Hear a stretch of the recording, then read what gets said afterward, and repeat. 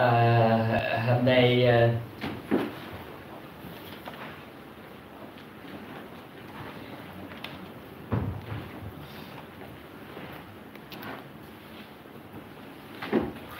tôi, tôi chúng tôi do dự rất là nhiều.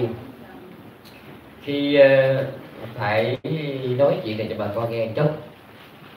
À, mình nói chuyện đời nữa đi. Thì mình có thương nhau lắm cũng phải nói thiệt với nhau một hai câu. Dầu có ly gì cũng phải nói. Cái này nghe kia hơn. Chứ mình cứ giấu hoài thì cái kia mới nằm trong bọc á, thì lâu ngày cũng lòi giấy không nói được nữa.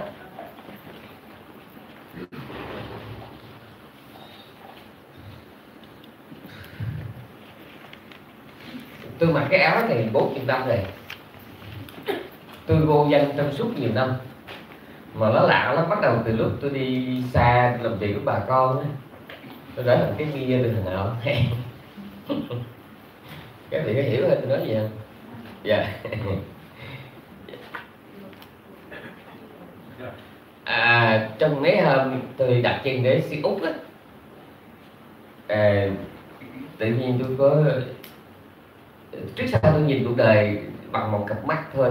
Ờ, nhưng mà cuộc đời nhìn tôi bằng một cặp mắt khác. Bắt đầu từ lúc có cái thiền viện Kalama, rồi ờ, cái tiếp nối đó là chuyến tôi đi úc. Bắt đầu tôi có nghe cái mùi, tôi nghe cái mùi cái mùi của những chứng duyên. Tôi tìm cách nói nhẹ thì là nhẹ đó.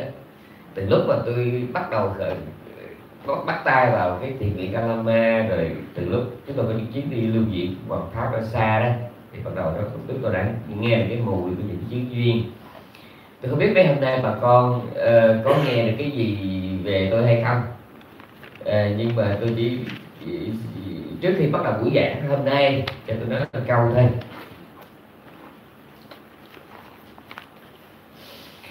Đêm hôm qua khi nói về lịch sử kinh điển các vị có nhớ tôi nhắc đến một nhân vật? Đó là ngài Kumala Thập không biết cái vị mình nhớ không bị chạy giúp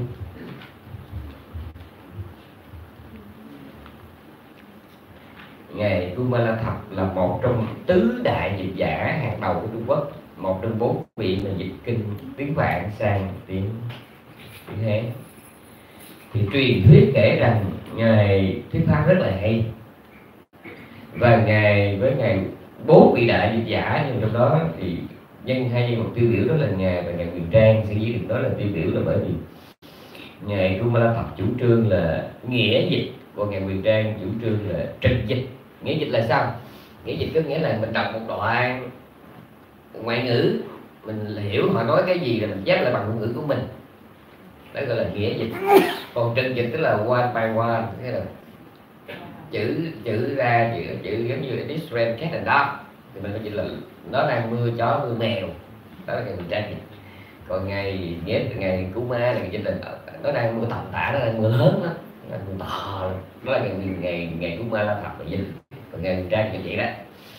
Ngày quyền trang ngày gặp gió đó thì ngày dịch là chó nóng mà ngày nghĩa tại ngày cú ma là thật chính là xúc xích mỹ cái cái hiểu không hai đại khái như vậy chứ không phải gọi là rút bia thì ngày cũng là tập là chuyện là xá xị chứ ngày không có chuyện là bia gốc. Ngày ngày mình trang là chuyện là bia gốc. Thì tôi nghe nói có nhiều người Việt Nam qua Mỹ lúc mới qua đó họ là người Bắc họ gặp rút bia với à, hot dog họ thích lắm mua hai đó về nhậu cái hồi mua về biết trên quốc. Bây giờ họ đệ tử là ngày buổi ngày cũng qua là tập.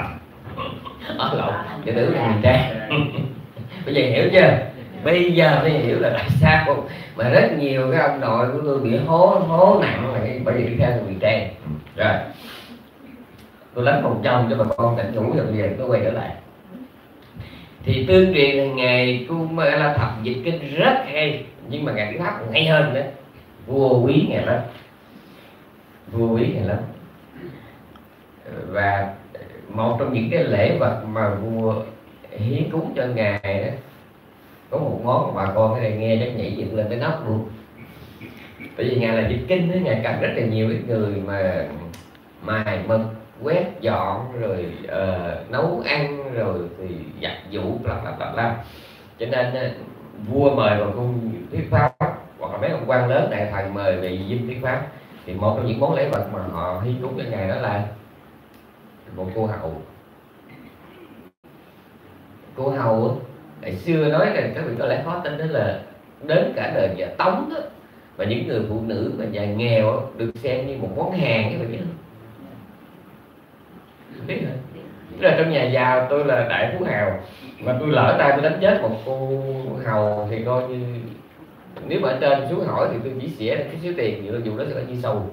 Chưa hết cái này mới gây có biết tôi đông pha không?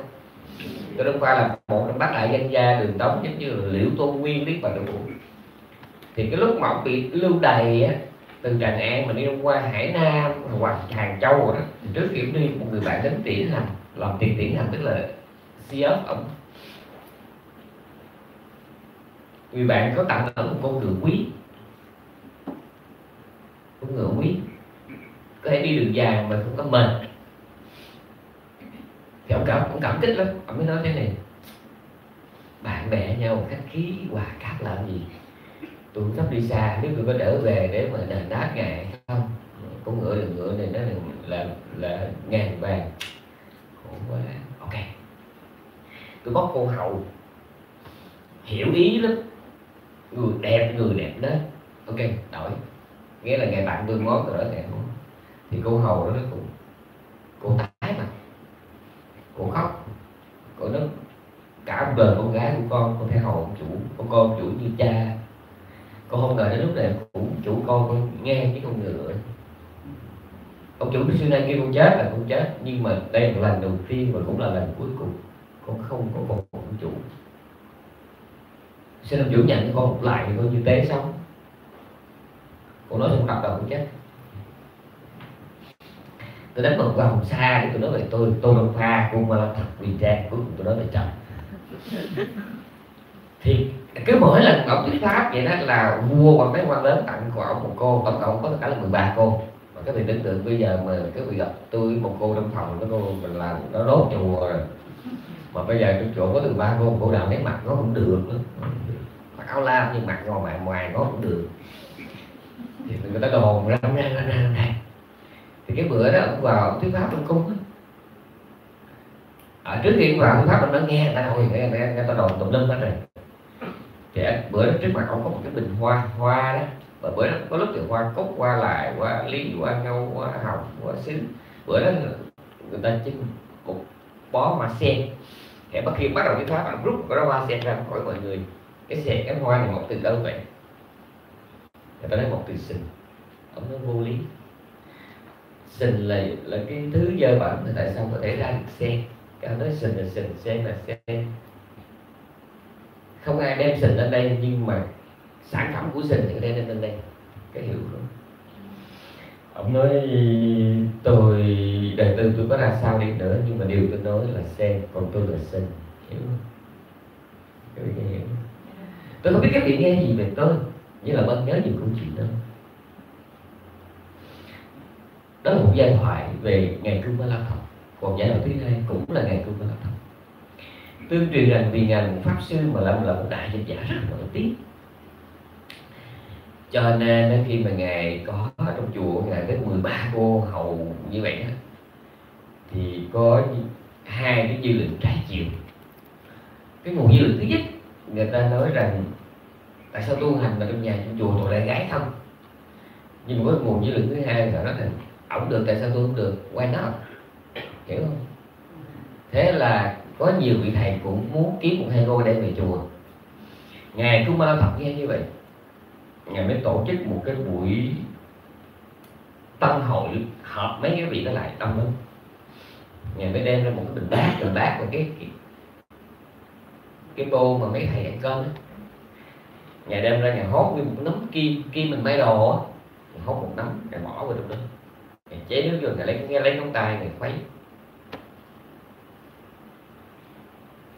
Ngài khuấy xong rồi ngài mới nói rồi anh em huynh đệ ở đây đều muốn có phụ nữ trong chùa giống như tôi. Tôi thấy cái chuyện đó bình thường, tôi được thì anh em cũng được. Nhưng mà xin anh em nhớ dùm chuyện. Muốn có phụ nữ trong chùa cũng được, nhưng mà xin anh em bắt chước tôi, bắt chước cho giống. Có hiểu. Có hiểu cái đó. Anh em muốn được như tôi thì anh em phải bắt chước cho giống tức là anh em cũng phải tiếp pháp anh em cũng phải dịch kinh và anh em phải làm được chuyện tôi làm. Anh em uống hết cái bát này bát nước này thì trước mặt mọi người thì người ta thấy là ông hốt nguyên một nắm kim ông bỏ vô khuấy. Thì ông hỏi các vị vậy chứ, ai ở đây có thể uống hết cái bát nước này? Các vị nghe kịp không? Ai ở đây có thể uống hết bát nước này? Thì các vị có ai dám uống không? Bởi vì những cha nào muốn có phụ nữ, nhà ông đều là những tay không có công phu, hiểu không? Khi họ muốn cái phụ nữ nghĩa là họ không có công phu. Hiểu chứ công phu không? Công phu tức là một cái quả trứng. Mà khi họ không có quả trứng thì bà cố họ không em uống cái bát ngài hỏi là một lần nữa, ở đây anh em nào muốn có phụ nữ trong chùa như là tôi? Uống cái bát nước này. Tất cả đều im lặng. Ông nói, thôi thì cái bát thì tôi lỡ khuấy tôi uống. Nếu ai nghi ngờ cái bát nước này là không là cái trò trick thì cứ lên uống. Rồi nếu mà anh em tin thì tôi uống cho anh em thấy. Để cho anh em thấy rằng muốn có tai tiếng như tôi cũng được, nhưng mà phải giống tôi. Cái hiểu không? Phải có hi hi và có đóng góp giống như tôi. Ngày nói sau này cầm bán nước hấp cái rồi và ngày ấp bát xuống cho người ta thấy là trong đó không còn nước nữa. Ok, tôi không phải là nhà cưng mà là phật. Tôi chỉ nói bà con một chuyện. Bà con nếu muốn anh con tôi là sinh nhưng mà khi nghe tôi nói cái gì bà con nghe kỹ tôi nói cái gì hiểu. Và trước mặt bà con có smartphone bà con có thể uh, check xem ông nói cái gì. Ở đâu ông nói cái đó hiểu. Ok giờ bắt đầu đang học.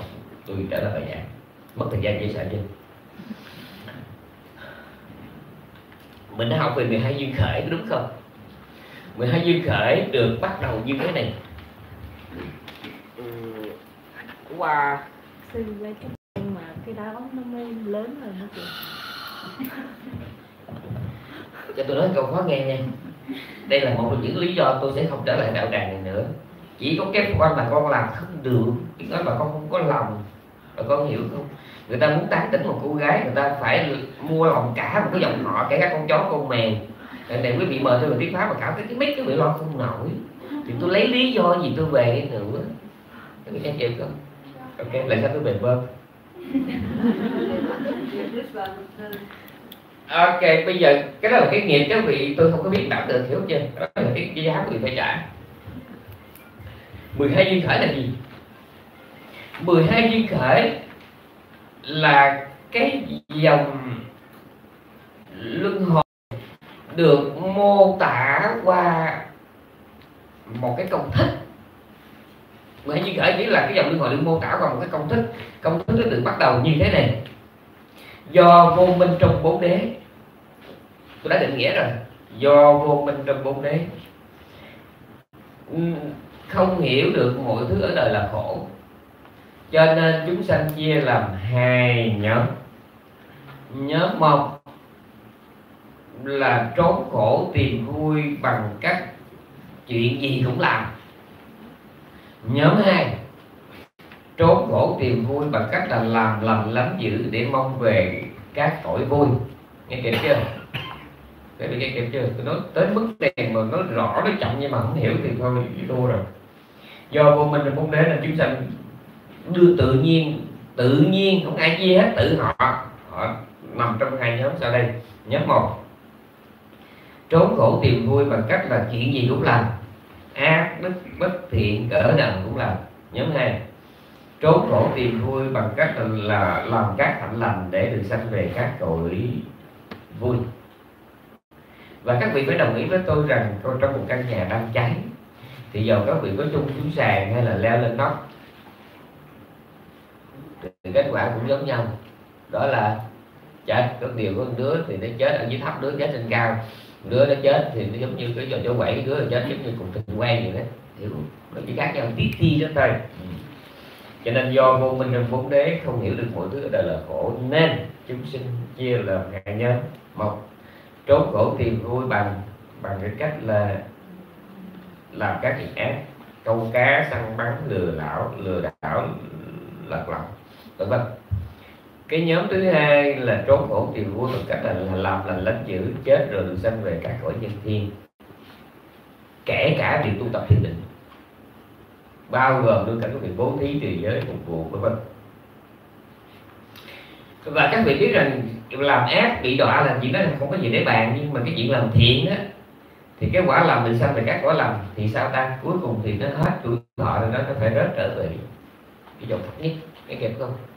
Cứ như vậy, tất cả chúng ta ở đây trong nhiều kiếp luân hồi chúng ta y chang như vậy cứ có kiếp sanh ra thì làm bậy làm bạ để mà kiếm sống, có kiếp sanh ra để kiếp sanh ra làm toàn việc làm để được sanh thiên, cứ như vậy.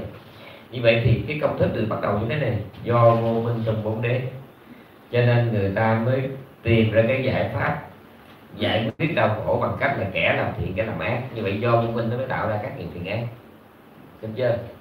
Bước thứ hai, do các nghiệp thiện ác nên mới có các tâm đầu thai về các cõi. Nãy tôi nói rồi, do các nghiệp thiện ác nên mới có tâm đầu thai về các cõi. Do có tâm thiện nên có tâm đầu thai sanh về các cõi vui, cõi lành. Còn do có tâm xấu cho nên sanh về các cõi đọa. Rồi, tiếp theo. Do có cái tâm đầu thai nên mới sanh về các cõi. Và từ đó nó mới có cái chuyện là chúng ta sở hữu sáu căn viết một chỗ nếu mà cái này nguyên bản thì cái vị nhìn nó sáng hơn, nghe kịp không? Ở đây mic không có người viết bản cũng không. Viết thì chậm, lừ đừ, nghe không rõ, mắt mờ tay yếu, thần kinh có vấn đề, tâm thần thì trục trặc ok bằng tất cả lòng đại bi, tôi đã thuyết pháp với tất cả sự kiên nhẫn, với tất cả nỗi niềm của một người mẹ, nhìn một cái đàn con tật nguyền nhưng mà tôi vẫn cố gắng ok ai mà nghe cái này nó nhục cho cái Sydney chị lắm. Rồi. Thì do vô minh trong bốn đế nó mới có nghiệp thiện ác do có nghiệp thiện ác nên mới có các tâm, tâm đầu thai các cõi. Do có tâm đầu thai các cõi nên chúng ta mới có sáu căn. Từ cái chỗ có sáu căn nó nảy ra cái nhu cầu đón nhận sáu trần mà từ cái chuyện mà đón nhận sáu trần nó mới nảy ra cái chuyện là tứ thủ tứ thủ là gì ta? Tứ thủ đó là chấp chặt ở trong các cái khoái lạc, gọi là dục thủ. Chấp chặt trong quan điểm nhận thức, gọi là kiến thủ. Chấp chặt ở trong cái đường lối hành trì, gọi là giới cấm thủ. Và chấp chặt ở trong cái ý niệm tôi và tôi là của tôi, đó là ngã chấp thủ. Từ cái bốn thủ này, nó lại dẫn đến hai hữu đó là nghiệp thiện và nghiệp ác. Cũng quay trở lại nữa, tiếp tục do cái nghiệp thiện nghiệp ác đời trước bây giờ bây giờ bắt đầu tôi nói gọn lên nè. Do nghiệp thiện nghiệp ác đời trước kiếp này ta có thân người có sáu căn. Nếu mà có sáu căn mà ta dùng nó để tu tập á, thì giải thoát luân hồi không có gì để nói còn đằng này. Do nghiệp thiện ác nên bây giờ ta tiếp tục có mặt ở đây và tiếp tục có sáu căn. Có sáu căn rồi ta mới dùng sáu căn đó để mà đón nhận sáu trần bằng phiền não phiền não là sao? Gặp cái thích thì đắm đuối đê mê, gặp cái bất mãn thì nổi điên, nổi dịch nổi khùng, nổi giận. Nghe kịp không? Như vậy thì do vô minh đời trước nên mới có nghiệp thiện ác, do có nghiệp thiện ác nên mới có thanh này, do có thanh này nên ta có sáu căn. Do có sáu căn nên ta tiếp tục tạo các nghiệp thiện ác để có thêm đời sau kiếp khác. Nghe kịp chưa? Hiểu không? Rồi vậy tu tứ đường sức là tu làm sao ta? Tu sức là tu chỗ này. Do các nghiệp thiện ác đời trước nên mình mới có sáu trần mới có sáu căn. Nhưng mà thay vì cái người không có tu hành á, thì khi mà có sáu căn á, họ theo đuổi sáu trần và sống trong phiền não. Còn cái người mà có tu thì sao? Sáu căn.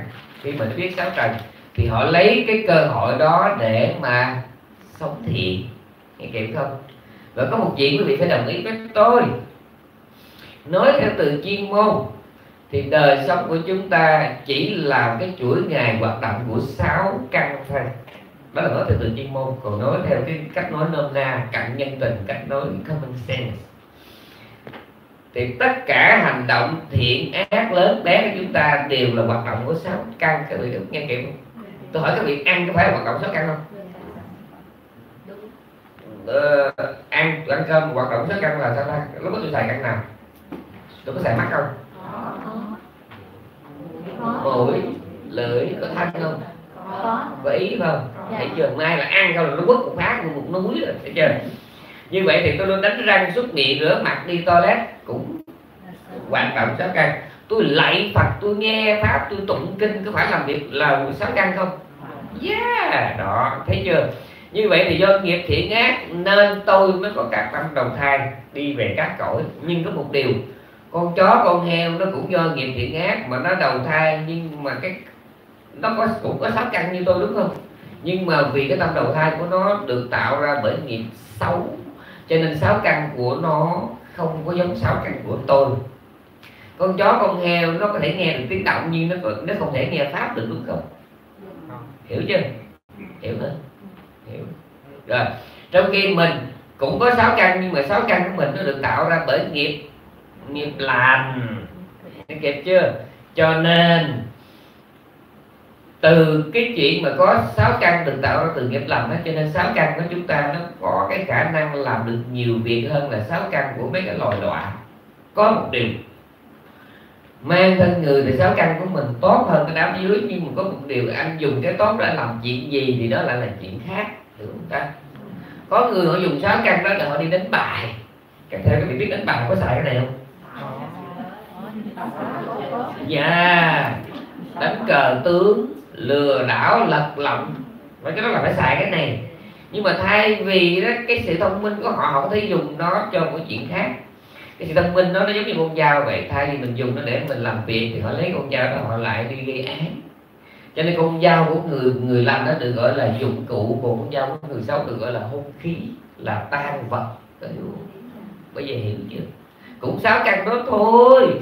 Nhưng mà của mấy bà nội trợ thì nó gọi là dụng cụ, hoặc là nó gọi là đồ bếp. Nhưng mà của mấy cái tên sát nhân đó thì nó gọi nó là hung khí. Và khi cảnh sát mà họ lượm được gọi là tan vật, là tan chứng đúng không ta? Mà trước khi nó trở thành tan vật tan chứng thì nó đã tạo ra những cái tang lệ. Nghe hiểu không? Như vậy là tôi nhắc lại, nhắc tới nhắc luôn ai mà nghe là băng giảng thì một là phải nói tôi là thận hai nó phải nói dân Sydney. Alzheimer. Tôi nhắc lại lần nữa. Do vô minh trong bốn đế, không biết rằng mọi thứ ở đời đều là khổ. Nên người ta mới invest invest thiện và ác đứa ngu thì nó invest ác còn đứa khôn nó invest cái thiện. Nhưng mà cả thiện lẫn ác đều là con đường dẫn vào luân hồi, dẫn vào cái ngôi nhà đang cháy. Nghe kịp không? Và khi mà có nghiệp thiện ác thì có tâm đầu thai cả cõi, mà hãy có tâm đầu thai cả cõi thì đương nhiên ta có sáu căn. Và với sáu căn ấy, kẻ có tu hành thì họ dùng sáu căn làm phương tiện để chấm dứt sanh tử. Không còn sáu căn mới nữa. Còn cái kẻ không có tu hành thì họ lấy sáu căn đó làm phương tiện để mà tiếp tục tạo ra sáu căn khác, hiểu không? như vậy ta tu tứ niệm xứ làm sao là tu ngay chóc cái chỗ đó là tu cái chỗ là lấy sáu căn hiện tại làm phương tiện để giải thoát còn nếu không học đạo thì mình tiếp tục cũng mắt thấy tai nghe mũi ngửi lưỡi nếm, thân xúc chạm ý suy tư, nhưng mà dùng sáu căn đó làm phương tiện sanh tử. Thích cái này, ghét cái kia, thương cái này, bất mãn cái nọ, suốt một đời của chúng ta. Từ lúc lọt lòng mẹ, đúng là trong bụng mẹ đó, nhưng mà quý vị ở đây đơ quá nên tôi chỉ nói cái nào dễ hiểu thôi. Từ cái lúc mà ở trong, ở từ bụng mẹ lọt ra là chúng ta đã bắt đầu trốn khổ tìm vui. Có có hiểu bốn chữ đó không? Trốn khổ tìm vui nghĩa là sao? Là đứa bé khi nào mà nó thấy mát má thấy em em, nó cười. Mà khi nào nó nghe ngứa ngứa, nó nghe nực cái nghe đau, nó khóc, đó chính là trốn khổ tìm vui hiểu không? Thì bắt đầu khi nó lớn lên, bắt đầu nó biết nói bập bẹ, nó biết đi chập chỉnh thì cái khả năng nó càng lúc nó càng rõ. Và cuối cùng nó dậy thì, rồi thì nó trưởng thành, rồi thì nó trung niên, rồi thì nó già cõi. Nguyên cái hành trình đó, dầu nó là thủ tướng, tổng thống hay ăn mài du đảng tổng thống, thủ tướng, ăn mài du đảng nguyên cái hành trình mà sống của họ đó chỉ là cái hành trình của trốn khổ tiền vui hiểu không có người giải quyết cái khổ bằng cách là học hành cho thiệt nhiều để có tiền. Có người thì giải quyết cái khổ bằng cách là buôn bán. Có người giải quyết cái khổ đó bằng cách là trở thành tội phạm. Vì có cái thân thì phải phải hoạt động để mà tồn tại và khi Phật ra đời, Phật mới dạy cho mình biết, thế giới này là gì? Thế giới này chỉ là cái chỗ gặp gỡ của sáu căn và sáu trần thôi. Các vị nghe giảng này chưa? Không có cái gì trong tất cả vũ trụ mà nằm ngoài sáu căn và sáu trần hết tôi nói không biết là bao nhiêu lần. Không có cái gì trong cuộc đời này mà nằm ngoài sáu căn và sáu trần. Tôi ví dụ như mặt trời, nó có nằm trong sáu trần không? Mặt trời có phải là đối tượng của sáu trần không? Trong trường hợp nào? Khi ta nhìn nó thì nó là visible object, đúng không? Mà khi ta nghĩ về nó thì nó là pháp trần đúng không? Mental object, đúng không? Mặt trời nó xa như vậy mà nó vẫn là cái object, nghĩa là nó là sáu trần một là một. Nó là hai trần trong sáu trần đúng không? Còn những thứ mà mình có thể sờ chạm được nó đều là trần hết tôi ví dụ như cái ờ, cái cái gối trà này nó là mấy trần trong sáu trần? Bạn nói thông minh ừ, nó là hỏi người ta cứ nói là sắc trần không à? Thật ra nó là đủ sáu trần đúng không? Khi nào tôi nhìn nó thì nó là sắc. Nó là thân tôi dùng mũi đó là khí. Tôi le lưỡi tôi uống đó nó là vị tôi nhắm mắt tôi sờ nó nó là cảnh xúc. Tôi nghĩ về nó nó là cảnh pháp có hiểu chưa? Như vậy thì chỉ cái bịch trà này không, nó đã là sáu trần rồi. Xong chưa? Như vậy thì tùy cái loại chúng sanh trong đời này. Hôm qua tôi nói trình độ tạo ra thái độ, còn nhớ lắm không? Dạ. Yeah. tùy vào cái trình độ và cái phước duyên của mỗi người mà trước một trận một cái cảnh trần ấy, ta có bao nhiêu cách để đón nhận nó. Ví dụ như một cha mù thì chẳng có thể đối với một người mù thì nó nó nó là mấy trần trong sáu trần. Phải trừ cái trần đầu tiên. Đối với cha biết thì mình trừ cái trần thứ hai đúng không? Đối với cái bà đang cảm nặng nghẹn mũi thì trừ cái trần thứ ba đúng không? Hiểu hả? Xong rồi đó. Ừ, hiểu chưa? Có nghĩa là do nghiệp thiện ác đời trước mà bây giờ ta có sáu căn nhưng tùy thuộc hoàn cảnh điều và vô số điều kiện mà vạn vật trong đời này nó là trần nào trong sáu trần và thái độ của ta đối với sáu trần đó là sao? Một cái người được giáo dục đàng hoàng khi mà họ nghe người khác chửi cái phản ứng họ khác cái người thiếu giáo dục đúng không ta? Có người cả đời không biết chữ thề còn có người lúc nói chuyện vui họ cũng pha tiếng ăn mặt vô phải không? Có. Có biết tiếng ăn mặt không? Hiểu không? Thấy dễ sợ chưa? Thấy dễ sợ chưa? Và các vị có thấy người ta chào nhau như thế này có thấy biết bình thường. Nhưng có người họ không chào họ xài có ngón giữa không à? Tôi không nói đùa tôi nói rất là nghiêm túc. Có nghĩa rằng là cũng có tay chân nhưng mà có một người họ làm như nè có người họ làm như vậy nè, có người họ làm vậy, có người họ đưa ngón giữa, các vị hiểu không? Ở đây có hiểu ngón giữa không? Ok nó khổ chỗ khi tôi dặn bà con chuyện gì tôi cũng bóc rồi tôi nấu hết trơn đó cho nên tay chân ai cũng ngõ giống nhau, nhưng mà cách anh xài nó khác nhau. Ai cũng có khả năng nói chuyện, nhưng mà mỗi người có một kiểu nói khác nhau, với một mục đích và ý nghĩa khác nhau, có đúng không ta? Đúng người việt thì ai biết nói tiếng việt nhưng có kẻ thì dùng tiếng việt để buôn bán, có kẻ dùng tiếng việt để giao tiếp và kẻ dùng tiếng việt để truyền tải kiến thức. Có người thì dùng dùng cái tiếng việt của mình để truyền tải tình cảm. Đó là mấy người ca hát đó. Hiểu không? Bây giờ hiểu không? Tức là sáu trần ai cũng có. Đối tượng của sáu trần chính là sáu căn. Ai cũng có. Nhưng mà tùy cái trình độ mà ta có thái độ khác nhau trước sáu trần. Thái độ đó nó có tên gọi là phản ứng tiếng việt gọi là reaction, mà nghiệp chính là reaction. Nó còn có một tên gọi nữa, đó là cause, tức là nhân. Mà hãy có nhân là có effect, có nghĩa là quả. Nghe kịp không? Nhân quả nó không phải là cái vấn đề của riêng phật giáo, mà nó là quy luật của vũ trụ. Các vị nghe tôi rõ nè. Cái cái rõ là nhân, mà cái âm thanh đó là là quả. Âm thanh đó là nhân. Nó khiến cho tôi nghe được đó là quả. Như vậy bất cứ việc gì ở đời này nó cũng do nhân quả mà có. Và bản thân nó vừa là nhân, tạo ra cái khác mà nó vừa là quả là bởi vì nó được một cái khác tạo nó hiểu không như vậy thế giới này là duyên khởi trùng trùng. Có giờ hiểu chưa? Mọi thứ ở đời đều do các nhân duyên mà có. Và bản thân nó lại là nhân duyên cho vô số thứ khác kẻ nào liên tục thường trực thường xuyên sống trong nhận thức này phật gọi đó là hành giả. Mà chỉ có sống chánh niệm, chỉ có sống với chánh niệm và trí tuệ, thì chúng ta mới liên tục và liên tục nhận thức được rằng nguyên cái cục này không có phải là tôi, không phải là ta, không phải là thằng tí thằng tề, con lan, con cúc, con hương, con đào, con yến gì hết, mà nguyên cái cục này là nguyên một cái khối nhân quả nó được tạo ra bởi vô số nhân quả và bản thân cái cục này nó lại là nhân để tạo ra vô số cái quả khác. Mà mặc dù bản thân nó là quả của vô số cái nhân khác hiểu. Cho nên, một người có học đạo và hành đạo cẩn trọng trong từng lời nói, vì bất cứ câu nói nào của ta rất có thể là điểm bắt đầu cho một tỷ sự cố có khả năng kết thúc có câu nói nào mà có thể dựng nhà, dựng đất và có thể câu nói nào làm cho tan nhà nát cửa có có rất là cẩn thận. Mà tôi nói rồi, chỉ một cái lá me, chỉ một sợi tóc mà nó còn làm dậy sóng ba đào, còn nhớ không? Một chiếc lá me gì làm nên nhìn cái lá me người ta nhớ con đường duy tân, nhớ thời đại học văn khoa đúng không?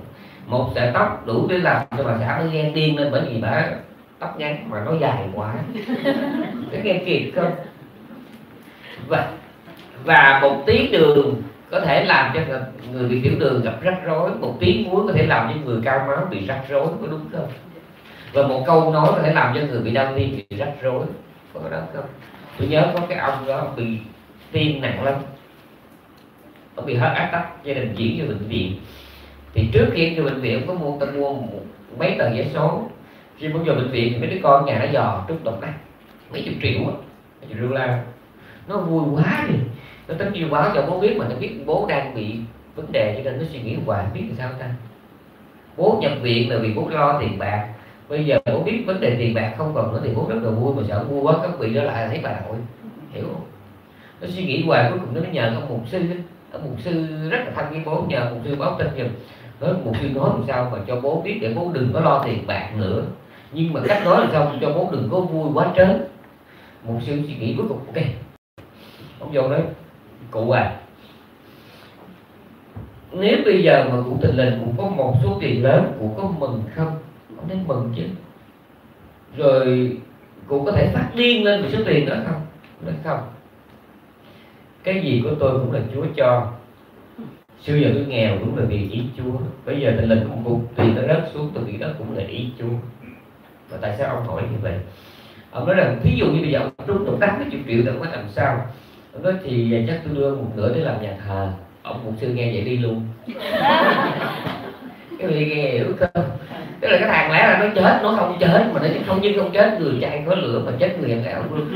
Nhưng không chết thằng tay nào hết mà chết thằng lính thổi kèn tay coi như là cũng sáu trần đó thôi nghe kịp không? Cũng sáu trần đó. Nhưng mà do cái thái độ mà cái thái độ nó đi ra từ cái trình độ trình độ tạo ra thái độ. Và trình độ đó được đi ra từ đâu? Đi ra từ ba thứ. Tiền nghiệp nghiệp thì ác quá khứ. Khuynh hướng tâm lý và môi trường sống. Môi trường sống là cái gì? Là môi trường mà chúng ta sinh trưởng, điều kiện giáo dục, bối cảnh gia đình, bối cảnh xã hội, tất cả những cái đó gom chung lại mình là môi trường hiện tại. Nghe kịp không? Chính ba cái này nó mới tạo ra các thái độ của chúng ta trước sáu trần không giống nhau tôi nói không biết bao nhiêu là cũng cái người đó ngày xưa mình mất ngủ vì mình không có quen được họ. Bên bốn chục năm sau mình mất ngủ vì nó không chịu ký giấy ly gì nghe kịp không? Cũng một cái trần đó thôi. Cũng một cái trần đó thôi. Ai ở đây từng biết úc có giống mỹ không? Ai mà từng mua đồ rồi đi trả đồ? Lúc mà mình mua nó mình no, mình vui, lúc lúc đi về, biết không vừa ý, đi kiếm cái receipt muốn chết luôn kiếm để trả. Bên bên úc có cái bên bên đây trả đồ có cần receipt không có lúc đó tôi mua một món đồ, một trăm mấy chục đồng đối với thị chùa là hay lớn. Tôi về tôi biết xài cũng được. Mà lúc mình đem về hí ẩn mình đâu có màng cái cái receipt chẳng vò chẳng chung tới lúc mà tối trước khi đi ngủ, đã nhớ món đồ mà chiều mua, đã môi ra, rồi thì biết không xài được, không vừa với mình. Sẽ bị trả mà cái giấy nằm ở đâu? Một thân một mình. Gà trống con. Lục tung cái nhà lên để kiếm cho được cái receipt mà nó ngộ lắm cái hồi từng trước thấy nó mắc không dám mua. Và tới hồi quyết định mua nó nó hồi hộp lắm. Tại vì đi trễ sẽ đóng cửa. Và tới hồi muốn trả nó lại cũng hồi hộp nữa. Không biết cái receipt nằm ở đâu. Cho nên cũng cái trầm đó thôi. Nhưng mà tùy lúc tùy bối cảnh mà ta có thái độ ra sao. Và tu tứ định xứ là gì? Tu tứ định xứ tức là kiểm soát được cái nhận thức và cảm xúc của mình trước sao trần hiểu chưa? Có hiểu sáu căn nó là quả của thiện ác đời trước. Người không biết tu thì lấy cái sáu căn này nè tiếp tục tạo ra sáu căn mới. Còn hành giả tứ niệm xứ là lấy sáu căn này làm phương tiện để dựng cầu qua sông. Có hiểu không cũng cái khúc gỗ đó, có người sẽ làm ván đóng bàn, đóng tủ, ở lại ngoan đảo. Cũng cái khúc gỗ đó, có người sẽ nó ra, đóng bè để trở về đất liền. Có hiểu không ta? Nói tới đó mà không hiểu, uống thuốc truyền kiếp. Tự sát tập thể. Có hiểu không? Cũng khúc gỗ đó, có kẻ trẻ ra làm bè vượt biển. Có kẻ chấp nhận ở lại quan đạo trẻ nó ra làm bàn làm ghế suốt đời làm chúa đạo và chúng ta đã không biết bao nhiêu kiếp làm chúa đạo như vậy. Bao nhiêu kiếp sống cô đơn, lạnh lẽo, ngoài trùng trời. Chúng ta hài lòng với cái hoang đảo mà mình đang có mặt. Bỏ hết mọi thứ. Để kịp không tu tính niệm xứ là vậy. Bây giờ nghĩa là đêm nay tôi cùng lúc tôi ôn cho bà con về bốn đế 12 duyên khởi và tứ niệm xứ để kịp không nghe hiểu đó nói chậm như vậy đó tôi nhắc lại lần nữa. Do vô minh trong bốn đế, không biết được bốn sự thật này một mọi sự đều là khổ. Hai, những gì ta thích đều nằm trong khổ. Ba, muốn hết khổ đừng có thích trong khổ nữa. Bốn, sống bằng ba nhận thức trên chính là con đường thoát khổ. Do không hiểu được bốn sự thật này nên người ta làm các nghiệp thiện ác làm ác là do ngu, làm thiện thì do ngu đất bộ nhà đang cháy lẽ ra, phải giọt ra ngoài đằng này một đứa trụng xuống sang một đứa leo lên nóc. Và ra đời ông nói không được, nhà cháy là bằng mọi giá giọt ra ngoài chỉ trừ trường hợp đặc biệt, mình nắng ná để lấy cái gì đó như một anh chàng trong chuyện cổ tích việt nam còn nhớ không? Nhà cháy thì ảnh cứ lay quay ảnh gỡ cái cửa thôi. Anh không lấy món đồ khác hàng xóm tưởng là ảnh giấu vàng trong đó. Ai ngờ khi tấm cửa ra ngoài mới biết được đó anh ghi chi chích những cái ngày mà tân gia đám dỗ sinh nhật để đi ăn chạch đó. Chỉ trừ cái trường hợp đặc biệt đó là người ta đánh đá để người ta gỡ cái cửa đi thông chứ còn, còn tất cả mọi tình huống nhà trái mà nếu anh thông minh là nó dọn ra ngoài không Phật dạy tam giới như hỏa trạch, tam giới như một ngôi nhà đang cháy. Cháy bởi cái gì? Cháy bởi sanh già đau chết, cháy bởi tham sân si, ái mạng, kiến nghi. Chúng ta luôn luôn ở trong cái tình trạng là đi về phía trước. Dầu muốn hay không từng người ở đây từng dù muốn hay không thì từng người ở đây đang từng bước đi về cái quan tài cái việc cái gì đó không? Và có một chuyện tôi lấy làm lạ là biết là cái đó là thật sự tôi thuyết tháo cho bà con nghe chính bản thân tôi có nhiều lúc tôi cũng nghi ngờ cái đó là tốt là xấu. Đó là lâu lâu cách đây vài năm trở lại lâu lâu có lúc ban ngày có lúc ban đêm có lúc thừa có lúc khích. Biết thừa với khích thôi có lúc thương có lúc kích có lúc khoan có lúc nhặt có lúc ngày lúc đêm. Tự nhiên nghĩ tới cái chết mà tôi điếc người tôi biết. Nhưng mà nói theo kinh phật thì nó rất là tốt. Nếu khéo rất là tốt. Bởi vì chính nó kèm tôi rất là nhiều. Nó kèm hiểu chỉ kèm không? Ừ, nó kèm mình nhiều chuyện hay lắm. Muốn tha muốn giận cái gì đó nhớ tới đó một cái là nó lắng liền. Hiểu không? Không muốn invest những cái không cần thiết nữa cái vụ thiền viện lẽ ra nó lên máu ba chục lần rồi từ lúc kêu gọi đến lúc có tiền mà biết là sao chuyển vô đó nó lo lắm tôi nhớ câu chuyện của hòa thượng nhất hạnh lúc mà hòa thượng làm cái chương trình mà vớt người vượt biển đó. hòa thượng có thuê hai con tàu ở malaysia đi đi vớt đó. mà hòa thượng nó có một cái đêm đó ở ngày đó báo vào cho biết là đã vớt được mấy chiếc tàu Việt Nam rồi. Nhưng mà vào bờ không được bởi vì sóng to gió lớn quá. Hòa thượng đó lúc đầu thượng ở trong bờ đó, tim nó muốn nhảy ra ngoài luôn, bởi vì á, có thể hiểu đó không? Hai cái chiếc đó là do mình mướn, mà mình đi vớt đồng bào của mình. Mà bây giờ mình nghe nói sóng to cái lớn không biết vào bờ được hay không. Mà lỡ có bệnh gì thì bị hiểu không lỡ có bệnh gì đó không biết là sao thì lúc đó hòa thượng biết chực nhớ là một chuyện đó là ngày xưa trước 75 hòa thượng từng ở trên bảo lộc. Hòa thượng có một cái phương mối an có một cái an trên đó. Lúc mà thanh niên phụng sự xã hội đó, hòa thượng làm cái tờ thanh niên phụng sự xã hội. Trước trước tết thập niên 60 thì ở trên cái phương mối an đó, lúc hòa thượng có cái an của thiền duyệt thất của ôn thanh từ, lúc cũng ở trên đó. Ôn thanh văn ung từ mẫn thì lúc đó hòa thượng kể lại là lúc trên phương quốc an hòa thượng có cái có cái chụp đèn cái đèn có cái chụp trên hòa thượng viết cho nó bốn chữ là dục an tắc an muốn yên thì nói yên. Cái chuyện đó là nó thành quá khứ rồi mà hơn chiều hôm nay trong buổi chiều mưa trên đất mã la hòa thượng chợt nhớ là cái chụp đèn năm xưa ở phương bối an. Đó là dục an tắc an. Nghe kìa không? Ừ, cái đó quan trọng lắm quý vị rất là quan trọng là do cái thái độ của mình thôi. Ừ, do cái thái độ của mình. Thì uh, ở đây hành giả tu tập tứ niệm xứ là sao? Cũng trước sáu trần cảnh đó mình có cái lòng bồn chôn mình bồn chồn thì khác. Bảo mình muốn yên thì yên. Thì trường hợp tôi cũng vậy. Nếu mà nói theo người đời bình thường á thì mình sống bị ám ảnh bởi cái chết đó là chuyện không có nên. Đời sống nó sẽ u ám. Nhưng mà theo trong kinh Phật á, thì chính cái suy tưởng và cái trí nhớ về cái nỗi chết đó, nó kèm mình rất là nhiều chuyện tin thôi đi mà nó bậy một chỗ là trong văn hóa Việt Nam và văn hóa Tàu á họ vốn dĩ họ kỵ cái gì mà nó phản phất cái xui cái hiểu không? Hôm nay bên Tàu các vị biết họ rất là kỵ số 4 bởi vì cái chữ đọc nó giống như chữ tử. Và Tết họ thích treo lên. Con cá rồi cái chữ ngư á, trong tiếng Hán nó đọc tiếng Hoa hiện đại đọc giống như chữ dư. Và lộc là con nai đọc giống như chữ lộc là phước lộc vậy rồi cái chữ phúc á, thì đọc giống như cái chữ bức mà bức nghĩa là con dơi. Cho nên hôm nay mình thấy trong cái văn hóa tàu ở trong mấy cái thiệp hoặc mấy cái tranh cái hình con dơi đó hiểu không? Thật ra con dơi nó là con vật thấy ghê lắm nhưng mà tại sao họ thích là bởi vì khi họ đọc chữ bức bất là con dơi thì nó lại giống như đọc chữ phúc là là, là phước hiểu không?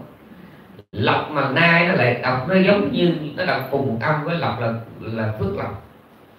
Ừ, họ tên vậy đó họ tên gì đó. Rồi chính vì cái chỗ mà họ quá tin vào cái tào lao ấy ám ám vào cái đầu của người Việt Nam mình mình ngại nghe cái gì mà nó nó, hơi negative. Ví dụ như đi nghe pháp nghe nói đến tóc lông ống răng da thịt gân xương nó mình gớm nó trời cái gì thế kia. Nói pháp mình phải nghe thơm ngát mùi trầm mùi sen. Nói về cõi phật hào quang thơm ngát mắt lòng gì đâu mà vô tu hành đâu mà nghe cái gì mà phấn nước tiểu tụi nó thấy gớm quá. Nhưng mà thật ra anh không thấy được sự thật thì anh tiếp tục bị ở tù. Nghe kịp không? Tôi nhớ có một câu chuyện nó rất là thông minh mà tôi e là tôi kể ra cho một đám người.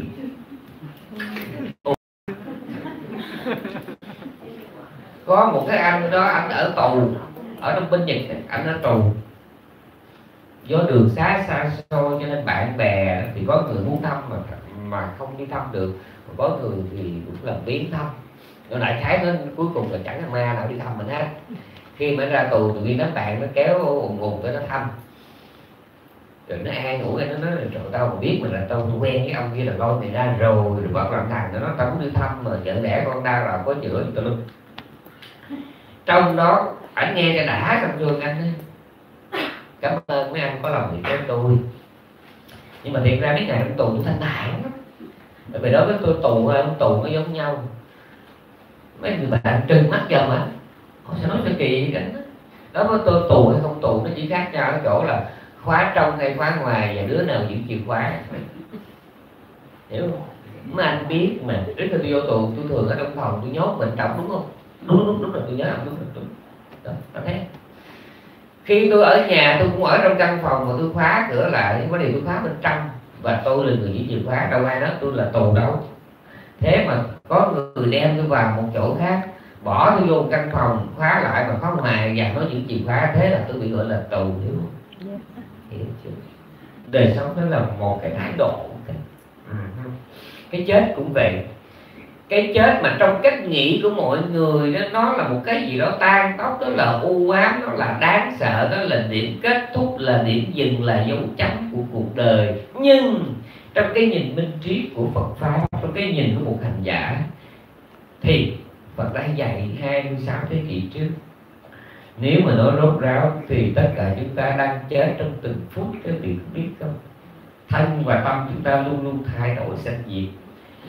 Từng tế bào, từng phân tử trong người chúng ta nó luôn luôn thay đổi sanh diệt. Chúng ta luôn luôn sống, đang sống bằng cái mới và cái cũ bị thay thế bằng cái mới. Đâu có bị đâu cái gì đó chính vì không biết hoặc biết mà không nhớ, cho nên chúng ta cứ nghĩ rằng mình là một cái line, một đường thẳng, vô tận.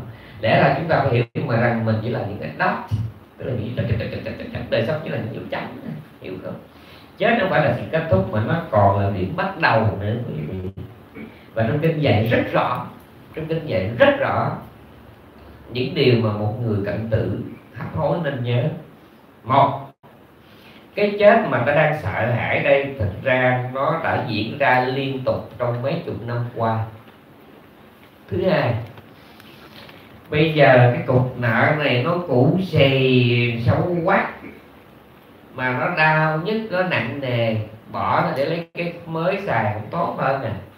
Hiểu hiểu. Cái thứ ba đã có sanh ra thì phải có mất đi, đâu phải chỉ là phải chuyện đấy có một mình mình đâu, mà mọi người trong vũ trụ đều như vậy hết. Mà tại sao ta sẽ chết là bởi vì ta đã yêu mê cái sống? Mà tại sao ta yêu mê cái sống là vì ta hiểu lầm nó cho nên ta mới yêu nó? Bữa nay tôi hy vọng trong đời chúng ta chỉ cần ba người hiểu là coi tôi lấy vốn rồi.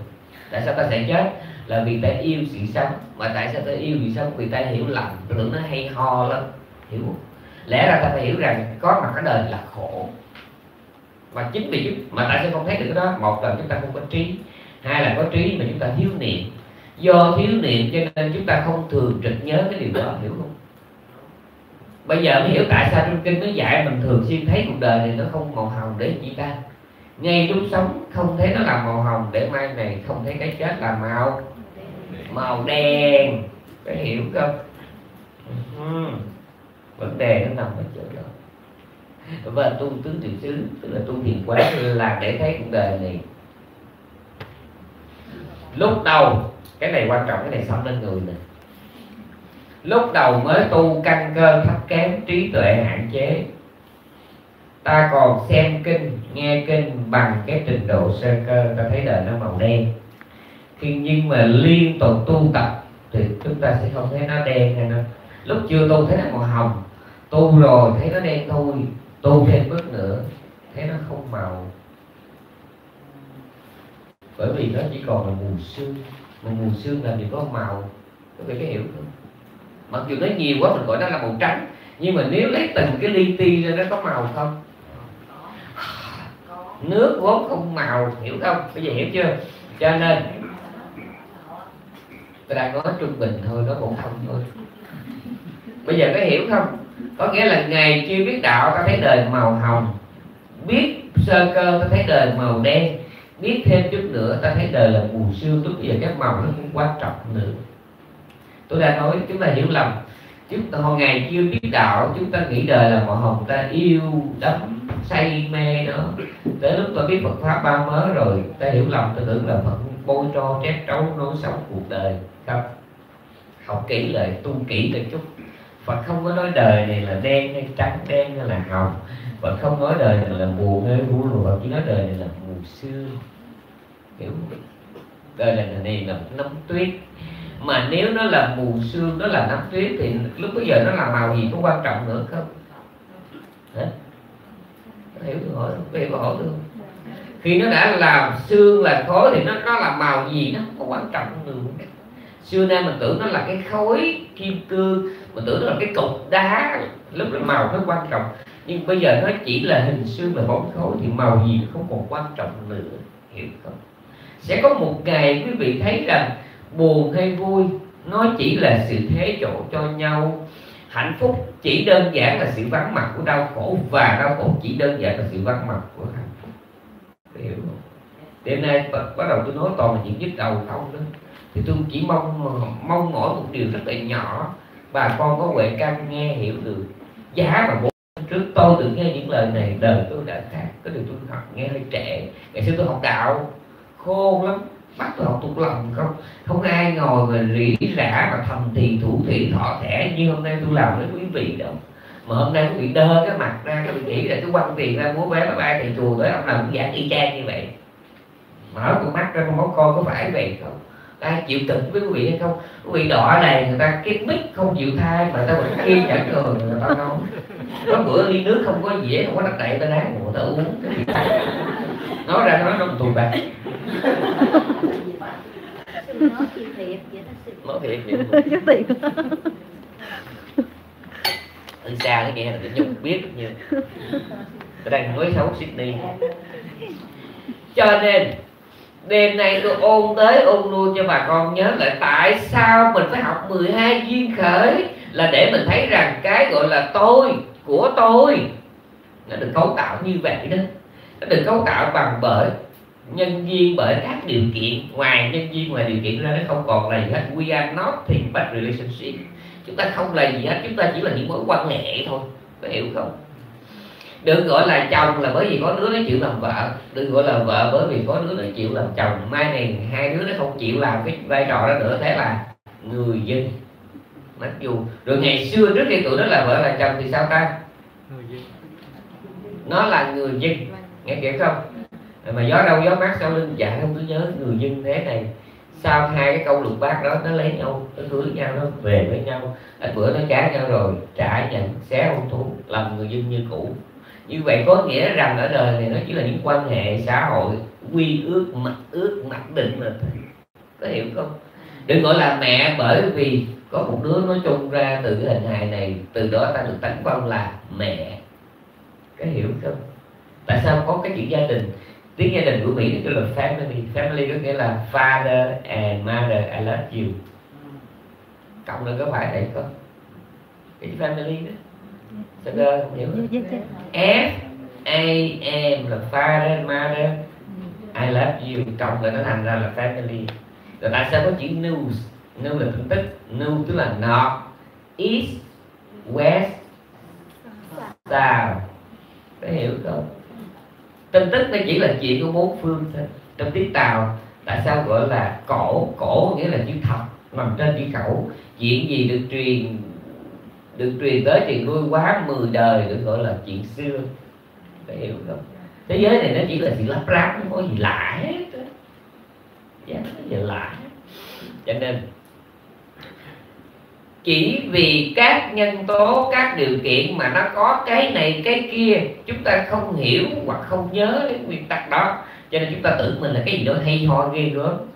Hôm qua tôi nói rồi, các vị đó là thủ tướng, đó là hoa hậu. Bây giờ các vị quên thở 15 phút thì ai cũng không dám đụng đến quý vị trừ đến người thân ở nhà có nó ôm chúng định nó cũng ớt nó cũng đẩy ra.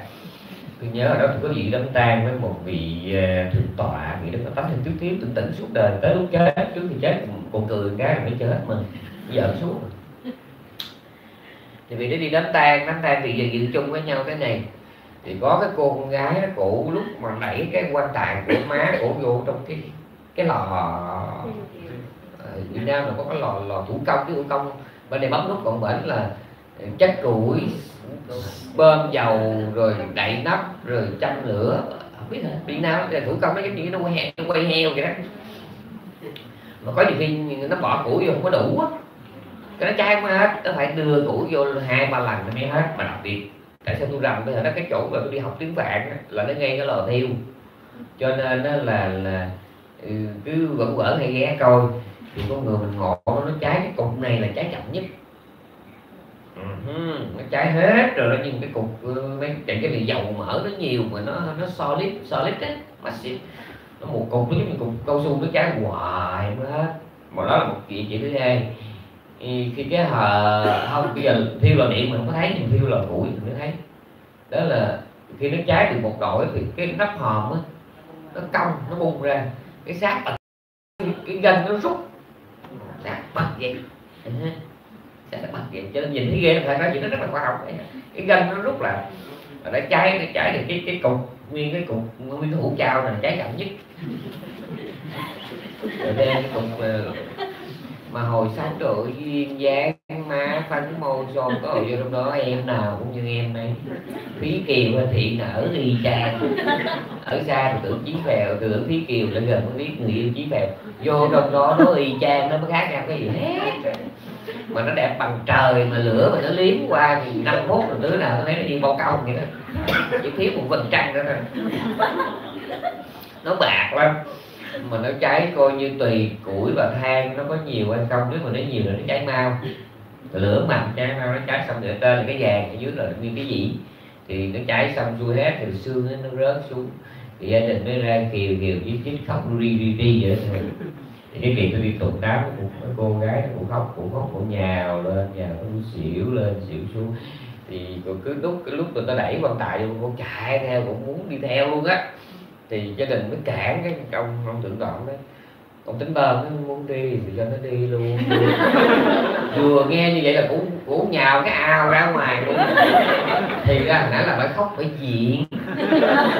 Vậy xỉu là diện nhào theo là diễn mà nó mà ngỗng nó không có cười. Cũng muốn đi thì cho nó đi luôn.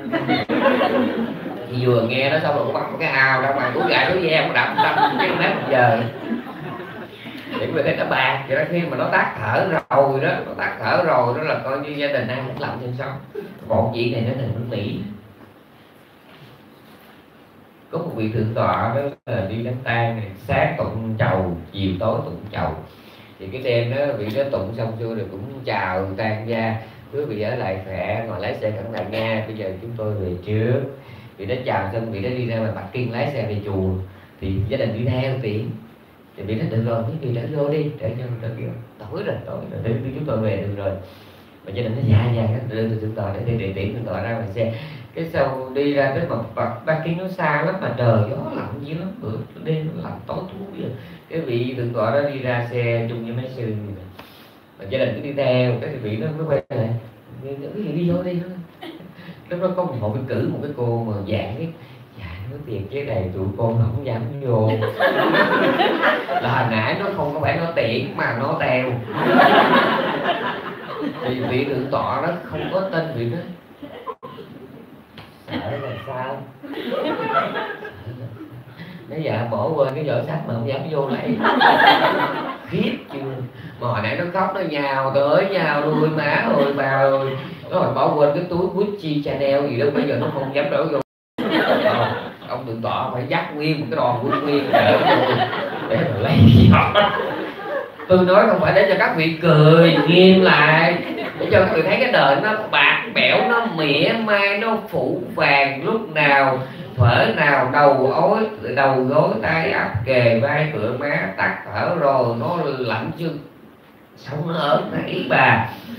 Rồi một cái bà cụ bây giờ ở bên Houston, còn sống năm nay mười chín mươi rồi cả đời bạn bạn nói tôi cả đời con chỉ một tâm sự duy nhất thôi. Sợ mê. Cái điều mà con sợ không phải là cái chết, mà con sợ con chết rồi nó để con trong của mình. Tôi nói, cô ơi, lúc đó người ta sợ cô không kịp chứ còn mà, con đã mà. Tám mấy tuổi mà bà nói hồn nhiên, dễ sợ. Mà nói, cái chết cũng không có sợ, bởi vì có sanh là có tử, Phật dạy rồi, có sanh là có tử. Biết thế, có sanh là phải có gì chuyện đó bình thường lắm. Chỉ có ngại cái trong kinh không có nói đó là bị nóng mình nó hơi teo bây giờ bà đang lo bên mỹ đó bà đang lo là chết rồi nằm trong đó một mình. À, bây giờ tôi quay lên lại. Mọi thứ ở đời là do duyên. À, một nụ cười mình nghĩ rằng môi của mình răng của mình miệng của mình mình muốn cười mình cười sai bé mọi sự phải ok mình mới cười được. Hiểu không? Hiểu không? Dạ. Nhiều người khi tôi nói một nụ cười cũng phải nhờ nhiều nhân viên, cái cô nói, cái gì dữ vậy thầy mình muốn cười nên là mình cười. Dạ, tôi nói, cô check phone lên chỉ cần có một cái email mình nhắn tin gì đó rồi chẳng những nó không cười, nó còn khóc nữa. Hiểu không? Nhức đầu, nhức răng, sổ mũi, chóng mặt, tiêu chảy của mình. Rồi những cái chuyện đó xảy ra cho người thân. Rồi nợ nần thù quán pháp lực tiếng xấu tin đồn tất cả những cái đó những cái nào đó cũng đều cho mình. Không cười nổi tin tôi đi cười không nổi chỉ trừ những trường hợp đặc biệt thôi khi như các bà đó chồng có làm thầy thuốc bắc. Thầy thuốc bắc. Bữa đó ông thầy ông, ông chồng đi bán chặn là ở nhà ai mà mà tới hốt thuốc xem mặt đó thì nó chờ tôi về. Còn nếu chờ không được thì kêu đi địa chỉ số phone email viber cho tôi thì bà đi một lát đi lát mấy tiếng sau về hỏi có ai kiếm mà hay ôi thì cũng có khách quen không thì cứ coi lật sổ ra đưa thuốc thôi. À, có quên có cái bà đó khách lạ rồi tôi cũng coi mặt rồi hỏi bệnh bả rồi tôi có cho thuốc. Ông có bà biết cái gì mà cho? Nó ôi tôi vợ ông là với bà bị coi như bà bị tiêu, tiêu bị bị ho rồi bà cho thuốc gì? Nó cho bà uống thuốc sổ. Bà không dám ho nữa. Thì trường hợp đó là trường hợp đặc biệt thôi. Thì hiểu tại sao chứ không dám ho không? Ho là bị lost control. Hiểu rồi. Hiểu rồi. Không hiểu không hiểu. Ok. Có nghĩa là mọi sự ở đời đều do nhân duyên hết. Khi mình hiểu mọi sự là do nhân duyên thì nó có ba cái lợi. Cái lợi thứ nhất là mình sẽ sống trách nhiệm hơn. Hiểu không? Có nghĩa là mình hiểu rằng mọi chuyện nhỏ nhất trong đời sống mình nó đều là cái cớ để bắt đầu cho vô vàng những chuyện khác. Cho nên mình sống rất cẩn trọng. Thứ hai, khi mình hiểu mọi sự nó là do duyên tạo đó, thì mình sẽ có một cái sự cởi mở hai giờ đó mình thương, mình ghét cái này cái kia. Bây giờ biết tất cả là đồ lắp ráp không mà nghe kịp không? Thì bây giờ thứ nhất đó là chúng ta sống có trách nhiệm hơn. Cái lợi thứ hai đó là chúng ta buông bỏ. Cái lợi thứ ba đó là gì ta? Cái lợi thứ ba đó là sống an lạc. Nghe kịp không?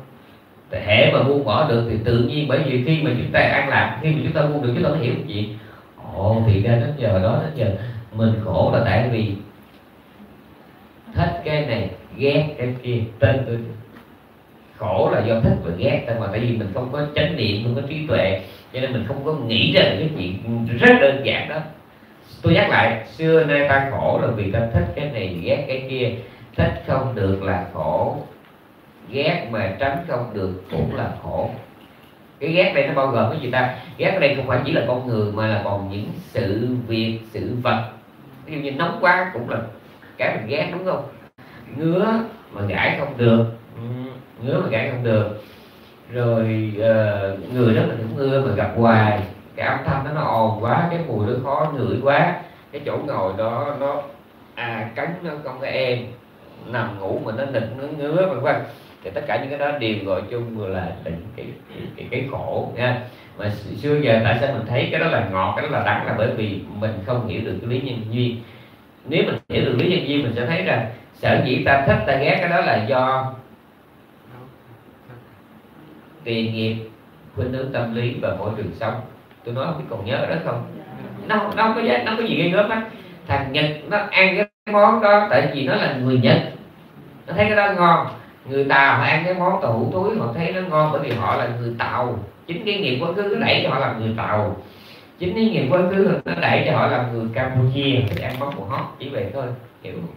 chính cái nghiệp nó đẩy cho họ làm cái con gì đó, gì ăn cỏ. Chính cái tiền nghiệp nó đẩy cho họ làm cái con ăn thịt sống, uống máu tươi hiểu không chính vì cái tiền nghiệp nó đẩy mình vào cái môi trường sống đó, chính rồi cộng với cái khuynh hướng tâm lý, cộng với cái môi trường hiện tại, khiến cho chúng ta thích cái này và ghét cái kia từ thích ghét nó mới ra cái đau khổ và hạnh phúc. Có hiểu không? Hiểu không? Như vậy thì tôi biết các vị lâu lâu nghe lần thì chắc có thấm nhưng mà nếu các vị có huệ căn sau cái thời gian này sau cái buổi giảng này sau khi tôi đã đời úc rồi thường xuyên sống trong cái tâm niệm như vậy cứ nhớ cái này tất cả khổ của ta đều đi ra từ thích và ghét. Mà thích và ghét nó chỉ là những giá trị mặc định ước lệ không phải là những hàng số bất biết. Nó rất là tương đối hiểu không? Tức là cũng cái món đồ đó cũng con người đó nhưng mà vào một thời điểm khác một cái bối cảnh khác mình không có thích nữa hiểu không? Dạ. nhưng mà cũng món đồ đó mà vào một bối cảnh khác vào một cái môi trường khác mình sẽ rất là thích nó. Có nghĩa là những cái mình thích và ghét nó rất là tương đối tương đối lắm quý vị nha. Năm nay tôi 50 tuổi. Tôi chỉ nhìn lại một số chuyện một số người, một số vật, một số nơi chốn. Tôi thấy buồn cười cho tôi. Tại sao ngày trước tôi lại ghét cái đó như vậy? Tại sao hồi đó tôi lại thích cái đó như vậy? Hiểu không? Đi theo năm tháng, tuổi đời thay đổi, tình trạng sức khỏe thay đổi, cái kinh nghiệm sống, cái khả năng nhận thức của mình nó thay đổi, cho nên cái cảm nhận của mình đối với thế giới nó cũng thay đổi. Tất cả chỉ là mùa xương thôi quý vị chỉ là phù sương tại chẳng qua chúng ta sống thất niệm, chúng ta không có chánh niệm, chúng ta không có dùng trí tuệ để suy tư. Cho nên, chúng ta cứ thường xuyên sống theo lối mòn. Tôi biết tôi nói cái này rất là nặng, bởi tôi nói rồi. Chỉ có trâu trâu quen ngõ, chó quen đường, ngựa quen đường cũ. Chỉ có cái loài động vật cấp thấp, nó mới cả đời sống theo lối mòn. Còn chúng ta là con người, chúng ta phải biết thoát khỏi lối mòn hiểu không cái sợ nhất là gì là lối mòn có nghĩa là xưa, sao giờ vậy? Không có gan nhảy ra. Nhảy ra, cô đơn mà nó có vẻ mạo hiểm nó thôi, cứ theo lối cũ mình đi, cho nó chắc ăn, cho nó làm cứ như vậy hết thế hệ này sang thế hệ khác. Tôi nhìn tôi ngán quá đi. Có cái cái câu mà ta tưởng là hay. Ví dụ như là, trai lớn lấy vợ, gái lớn có chồng rồi đó. Nghe nó ớn quá. Mà khi ông mỹ nó không phải như vậy nếu mà nó thấy đập thanh được thì nó đập thanh thậm chí ghiền cũng ít quá thì là như nó bình thường, còn mình không có được. Mình thì coi như là gái mà không chồng mà lại có con là không được. Hoặc là gái lớn mà không có chồng là không được.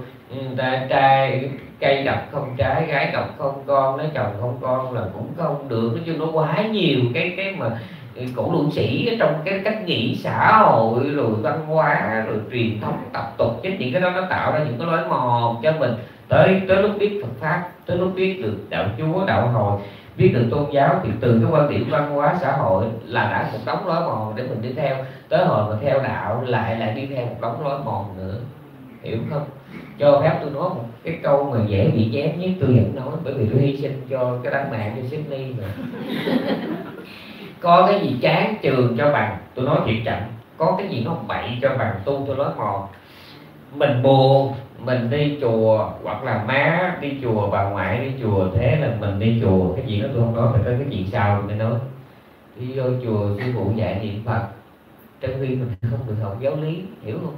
Không biết phật là cái gì, mình cứ nó nam mô giờ nó mô giờ nó mô nó mô như cái cao đi ni niệm hoài không được học giáo lý hết đời này sang đời khác đi chùa được cái pháp danh nè biết được hai ba câu niệm phật nè, có được cái áo lam nè, pháp danh nè, thì rồi có cái áo, rồi có được sâu chuỗi, rồi cứ về cái đêm nào cũng niệm hoài. Vậy còn khá khá thì có cái cuốn kinh hấp qua cái đêm chơi cho ông bẩm mà đọc mà không hiểu gì hết nó đọc hoài mình chưa kể pháp ba còn đỡ, còn ba cái đọc trúng cái ghê ra đi ra là ra đá ra đá vô gì mà đọc hoài. tôi không có ý bôi bác tôi mà có cái ý vậy tôi vừa là cái thằng hèn, mà vừa là cái thằng tồi, mà vừa là cái thằng mạo phạm thánh thần tôi không có dám đó mà tôi chỉ trách một chỗ là đừng có theo lối mòn. Đọc không hiểu. Mà cứ theo mà bao nhiêu cái vấn đề của mình vẫn còn đầy đó đó không được giải quyết. À, khổ vì tình cảm khổ vì tiền bạc khổ vì sức khỏe khổ vì bao nhiêu trăn trở nhưng sinh giải quyết không được mà tới ngày cái ăn là cái,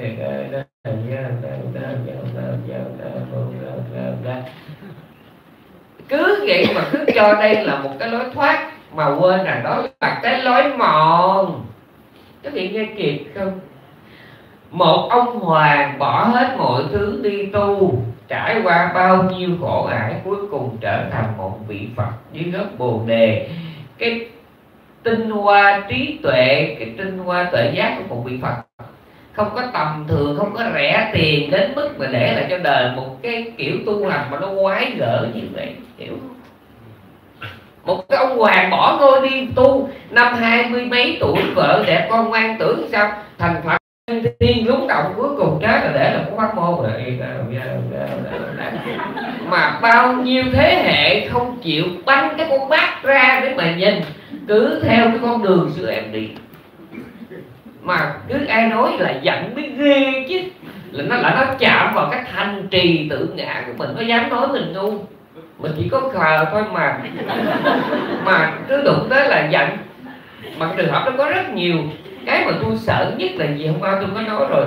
Một người có một cái não trạng bình thường, hấp thụ một cái nền giáo dục bình thường, đã thấy bất nhẫn, đã thấy không cam tâm khi mà thấy con con thú nó bị xiềng, con chim nó bị nhốt, con cá nó bị bỏ vô bò mình nhìn mình đã không cam tâm, hiểu không?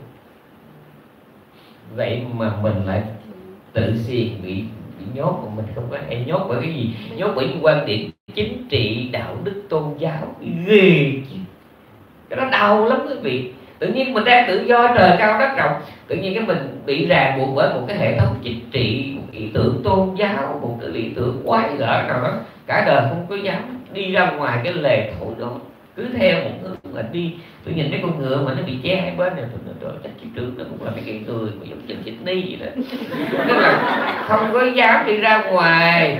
Mà cứ nghĩ cái một chiều thế này, mà nó khổ cái đó mà cái này mới hẳn nè. Mẹ sanh mình ra tay, chân thoải mái, không có ai giam nhốt. Lớn lên đi học đạo, học đời, học triết, học học chính trị bơm một phát. Mỗi đứa giờ cái chân có gì xiềng mà lại thấy mát mẻ, thấy thoải mái, thấy an toàn với cái dây xiềng đó dây chân mình đó can tâm hay không lần này tôi về úc, tôi đem cái mạng tôi ra để tôi hoàn pháp.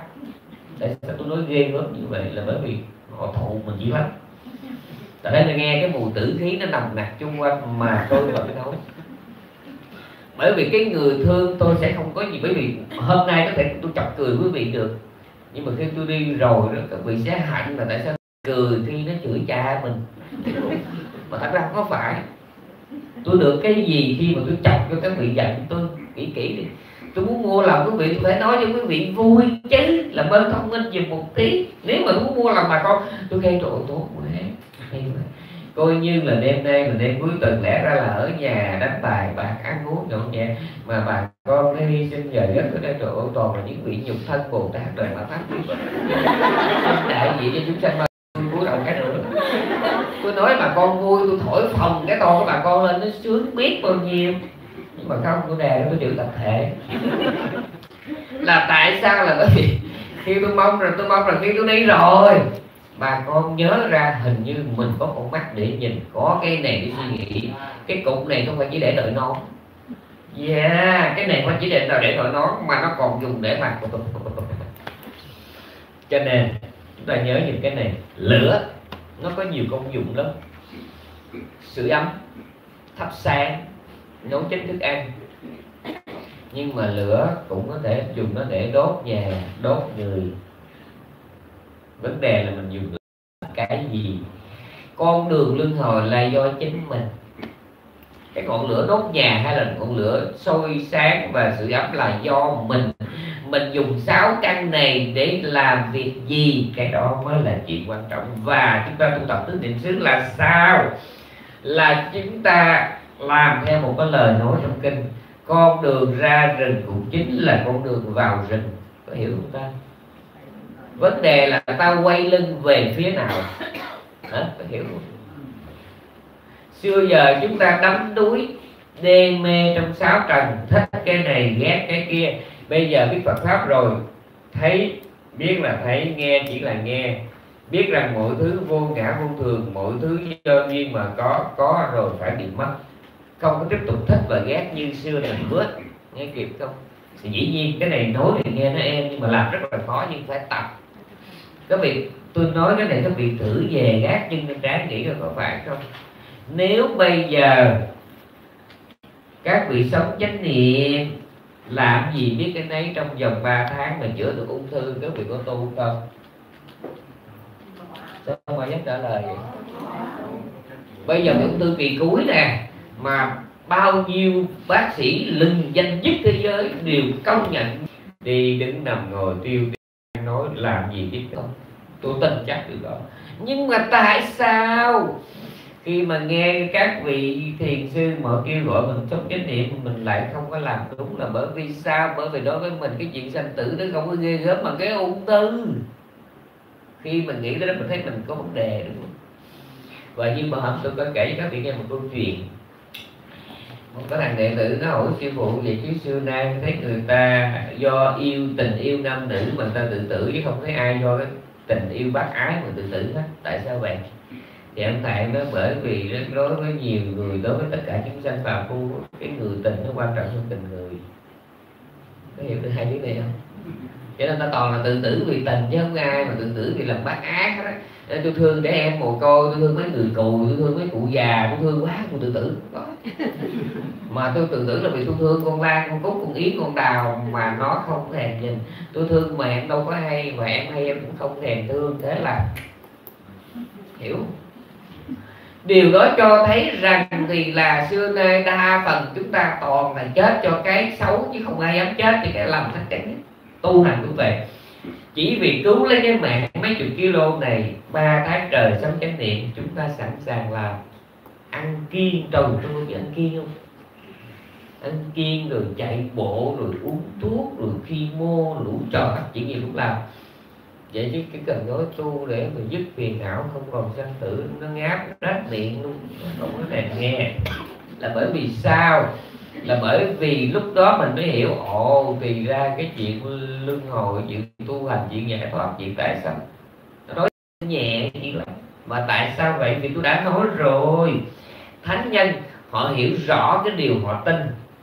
Cho nên họ tin chết bỏ cái điều họ hiểu còn mình không tin, không hiểu lắm cái điều mình tin nên mình không tin lắm cái điều mình hiểu. Hiểu không? Về chính cái điểm khác biệt này nó mới khiến cho thánh nhân một đời, cả đời sống cực đẹp. Bởi vì họ sống như là họ hiểu, còn mình thì sao?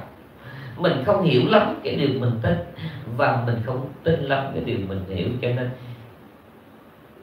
giờ thì cũng tu mà tu yếu xìu. đúng là cũng tu cũng gõ lóc có lan can cũng áo la rồi cũng lại cũng mắt cũng đi nhưng mà nó, nó gian cái gì cái mặt lưỡi nó gian rồi nó tu nhưng mà phải chờ mà bị thúc gậy vào lưng nó mới tu tiếp. Cái hiểu thúc gậy không? Có nghĩa là nó bị bác sĩ phán là bị cái gì đó bắt đầu nó mới biết teo. Rồi bác sĩ cứ khen cụ tốt quá. Trời ơi 70 mà biết áp về lượng đường gì là hay quá. Là nghe như vậy là tiếp tục phê nữa Ừ.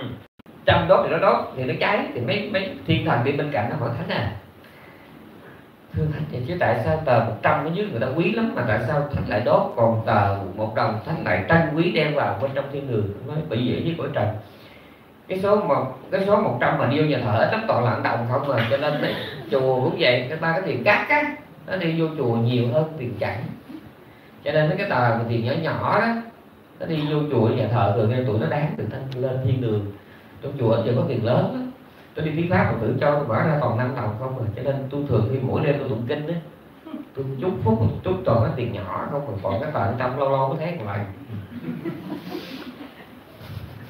nói đùa thôi. Nói đùa.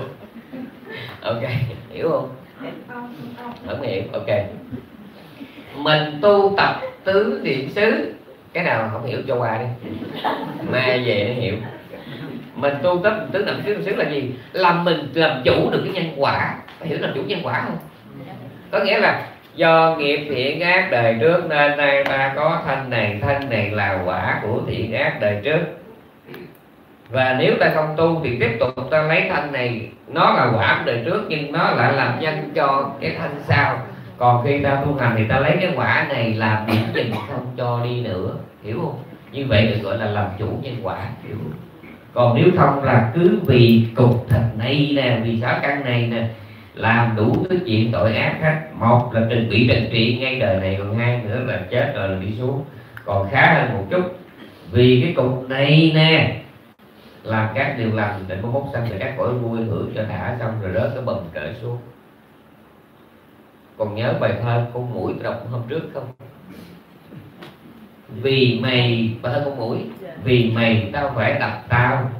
Vì tao tao phải đập mày. Vì mày tao đập cả mày lẫn tao và vì tao tao đập cả tao lẫn mày. Bài thơ nó nghe rất là thường nhưng mà nó rất là sắc tức là vì con mũi mà phải đánh ảnh và vì ảnh mà nó đánh con mũi. Nghe kịp không? Thì khi chúng ta có sáu căn cũng như vậy. Vì chiều chuộng sáu căn mà chúng ta làm bao nhiêu cái bậy có tin cái đó không? Vì một chai nước hoa, vì một thổi son, vì một bộ áo đẹp đắt tiền vì một cái giỏ sách ờ, vì một cảm giác tình yêu nam nữ vân vân chúng ta làm biết bao nhiêu chuyện tạo ảo? giống như là vì này tôi phải đập tao đó, tức là vì chạy theo cái cảm giác này mà mình cắm cái đầu vào cái hố xong tội lỗi của mình, không biết. Cái đó quan trọng lắm. Nhưng mà đối với một người hành giả tu quyết định xứ thì không như vậy, mấy người ở cuối có nghe rõ không? Không biết có nghe rõ không không có nghe tiếng ái từ dưới. Thì á là tất cả chúng ta là tu tứ niệm xứ, có có mấy cái lợi sau đây. Thứ nhất, tu tứ niệm xứ tức là chúng ta sống chậm lại. Chậm ở đây không phải nghĩa, theo cái nghĩa chậm là là nghĩa nhanh chậm thời gian. Mà chậm lại tại đây có nghĩa là trước đây trong cùng một lúc ta làm rất là nhiều việc còn bây giờ trong mỗi lúc ta chỉ làm có một việc thôi thì đó được gọi là chậm hiểu không? Hiểu không ta? Mỗi lúc là một việc là sao? Đó là làm cái gì biết cái đấy thì đó được gọi là mỗi lúc là một việc. Ở giờ trước mình vừa ăn vừa nói phone ừ, ừ, ừ, ừ, rồi vừa ăn vừa nói phone suy nghĩ tùm lum. Còn bây giờ thì không ăn là để toàn vẹn tâm trí một cách trọn vẹn vào cái chuyện ăn. Hiểu không? Rồi rửa mặt nhớ rất rõ, buổi sáng từ nằm trên giường mà đang ngủ ngon, giật mình thức dậy. Lúc giật mình là biết liền, biết là mình vừa thức giấc, biết liền. Lúc đó mình chợt nhớ đến cái chuyện gì mà làm cho mình bực mình mình biết rồi mình đang nổi giận. Hiểu không? Gọi là mình vừa giật mình thức dậy là mình biết mình vừa thức giấc. Ở bên cạnh nó có cái chuyện gì nó làm cho mình vui bữa nay mình có cái hẹn, mình vui. Thì lúc mình chợt nhớ biết liền ừ, mình đang vui. Tôi biết ở đây có nhiều người phật tử bắt tông không có quen cái đó nghe nó rất là kỳ. Thì cái pháp tu gì mình ngớ ngẩn nhưng mà thử đi. Sống hết mình sống tận tuyệt với chánh niệm một ngày sẽ thấy nó hay kinh dị tức thì lắm. Ừ. tức nghĩa là về tâm về tâm lý đó. Tâm lý đó suy nghĩ và cảm xúc nào đi qua mình đều ghi nhận. Và những hoạt động lớn bé của tay chân cũng đều phải được ghi nhận. Biết rằng mình bực mình, biết. Bây giờ biết rằng mình có cái ý muốn đi toilet, biết biết rõ mình muốn là đang muốn đi toilet. Bỏ cái chân xuống, biết rõ mình đang bỏ chân xuống, mình bước đi, biết mình đang bước đi. Mình thò tay, mình chạm cái công tắc đèn, biết rõ, biết mình đang switch on cái đèn, mình biết. Biết rõ mình đang vặn cái nắm cửa, biết. Biết mình đang xả nước biết mình đang rửa mặt, biết mình đánh răng, biết mình đang lau mặt, biết mình máng cái khăn lên, biết mình xoay người, biết mình bước đi, biết mình khép cửa lại. Hiểu không? Tôi kể ra từng cái chi tiết như vậy bà con nghe nó nhức đầu nhưng mà hiểu không? Có nghĩa là làm cái gì biết rõ. Thử đi, một ngày không chết thằng tay nào cũng tốn tiền. Thử một ngày đi. Nó cũng giống như một cái người mà chưa từng chạy bộ đó, chưa từng ăn kiêng họ không có tin rằng vận động cơ thể và ăn kiêng đó, nó lợi ích như thế nào. Họ hình dung không có ra. Hồi đó giờ họ chỉ biết là chích thuốc bổ uống thuốc bổ ăn đồ bổ thì nó mới khỏe. Họ tưởng như vậy nhưng họ không có biết rằng chạy bộ ăn kiêng chỉ sử dụng rau quả hạn chế thịt đỏ red meat nó khỏe. Mà có điều những cái đó nó nằm ngoài cái tưởng tượng của họ nghe kịp không? Thế là họ không chịu làm các vị thử đi sống chánh niệm một ngày đi, người ta nói là be mindfulness, even if your mind is full. Hiểu không? Cứ liên tục sống chánh niệm, ngay cả khi cái đầu óc mình đầy ắp, chuyện này, chuyện kia, nhớ cái đó. Đó là sơ cơ đó, còn sâu một chút. Khi có điều kiện, ngồi yên, hoặc nằm yên, thở ra, biết thở ra, thở vào, biết thở vào. Chỉ quan sát không điều khiển, không can thiệp. Tôi nói có hiểu không? Cứ để hơi thở nó vào hết hết mức từ tự động nó có nhu cầu đẩy ra. Nó ra hết mức tự động nó có nhu cầu, nó hết vào. Nó vào hết mức tự nhiên nó có nhu cầu, nó đẩy ra. Tinh đừng có can thiệp gì hết, cứ để đó là dành cho mấy người dễ còn người khó. Khi họ theo dõi như vậy, họ dễ bị lăn xăng lăn xăng lăn xăng lắm. Thì có cái cách chữa cho người đó theo dõi hơi thở ra, biết ra và biết vào mà nó lăn sang thì có cách chữa bằng cách này. Đây trong kinh dạy. Thế vô một cách tự nhiên để cho tự hết chứ mình hết nha. Tự động nó vô, rồi nó ra đêm một, nó vô, nó ra đêm hai, cái kịp không? Nó vô, nó ra đêm ba, cứ như vậy cho tới năm. Nó vô, nó ra đêm năm. Rồi, bây giờ đó lại đó là là thên một vừa qua tới thên hai nè hít vô thở ra đếm một hít vô thở ra đếm hai cho đến hít vô thở ra đếm sáu. Hiểu không ta? Mỗi một cái lượt mỗi một cái thên như vậy là thêm một. Thì minimum là 5 và maximum là 10 tổng cộng lại là 6 thên hiểu không? Dạ. Thì cứ mà cái này nó có lợi lắm. Người hữu duyên họ theo cái đó tâm họ nó định mạnh vô cùng. Còn người kém phước tối thiểu cũng nhờ vậy ngủ ngon hơn. Hiếm em nào mà qua được tới cái tour thứ thứ, thứ sáu. Cỡ thứ năm là nó đã đi về xứ rồi. Coi mà hiểu không? Dạ. Tốt vô cùng hết. Vô thở ra đêm một vô thở ra đêm hai vô thở ra đêm ba. Và chắc chắn có những người ngồi đây thắc mắc tại sao nãy nhận bài ra toàn là chuyện kỳ cục không à. Cái chuyện thứ nhất là làm gì biết nấy có gì đâu hay rồi mới giải thích là sao nó hay. Khi mà anh làm gì biết đấy, tối thiểu anh luôn sống trong cái sự kiểm soát hiểu và tất cả bi kịch trên cuộc đời này đều đi ra từ sự thiếu kiểm soát của chúng ta, có đúng không ta? Yeah! Đó là cái thứ nhất. Cái thứ hai, khi mà anh sống chánh niệm như vậy đó, nếu mà anh đủ cái duyên làm giải thoát, sẽ có một ngày anh nhận ra những cái chuyện mà anh có nằm chim bao, anh cũng không thấy. Đó là gì? Khi mà anh sống chánh niệm anh nhận ra những chuyện rất là lạ. Ồ, thì ra mình là đồ rác. Vừa là đồ rác mà vừa là đồ rác. Hiểu? Đồ rác là gì? Lúc buồn, lúc vui, lúc thiện, lúc ác. Nghe kể không? Hồi nãy rồi đâu có đau bây giờ nó đau. Mình không muốn đau mà nó vẫn cứ đau, đó là vô ngã mình không muốn nó bị mỏi mà nó vẫn mỏi, đó là vô ngã. Vô ngã có nghĩa là gì? Có nghĩa là nó không phải là mình, nó không phải là của mình. Bởi vì nếu nó là của mình thì mình có thể điều khiển được nó, hiểu không? Và đằng này mình này mình nhìn nó như là nhìn một cái gì đó rất là xa lạ. Thì lúc đó mình mới có dịp mình buông xả tháo cỡ cái tôi của mình đi. Ngay lúc mình mới tu buổi đầu thì cái buông cái đó không có nhiều đâu quý vị. Nhưng mà càng về lâu về dài đó, mình cứ mỗi ngày mình cứ thấm thía thấm thía đồ giả đồ ráp đồ ráp đồ giả đồ giả đồ ráp các vị có nghe câu tự kỷ ấm thị không? Lâu ngày đó nó có cái lợi ích dễ sợ lắm. Cho nên sống chánh niệm là gì? Một là mình luôn sống trong sự kiểm soát. Thứ hai là nếu đủ duyên lành mình chứng thánh. Cái thứ ba thấy nó đơn giản như vậy mà nó làm như các vị hạnh phúc không ngờ. Xui một cái không tu không tin hạnh phúc cực kỳ. Làm gì biết đấy, làm gì biết đấy. Nó sướng lạ lùng lắm. Nó sướng lạ lùng lắm. Mà nó xui làm nó không có duyên lành. Nó nghe nó thấy pháp tu gì không nghe, nó không có quyền bí người việt mình đa phần là thích cái gì mà mình không hiểu. Bởi người ta nói ma túy là một, mối tình đầu là hai, tôn giáo là ba, là làm cho người ta là đời. Mà nó sướng chỉ mấy cái thứ mà rổ rá cặp lại cái rổ rá cặp lại. Cái thứ mình mà hôn nhân lần hai lần ba nó không có còn mà mộng mị nữa. Tôi nhớ có cái ông có cái bà lão nó tám chục. Ông lão 82 bữa đó. Bà nói với ông lâu lắm rồi mấy chục năm nay tôi thèm cái cảm giác thời con gái rồi tụi mình hẹn hò hồi họ ước gì bây giờ nay ông cho tôi lại cảm giác được không? Ông, ông gắn gắn cái răng gãi luôn. Được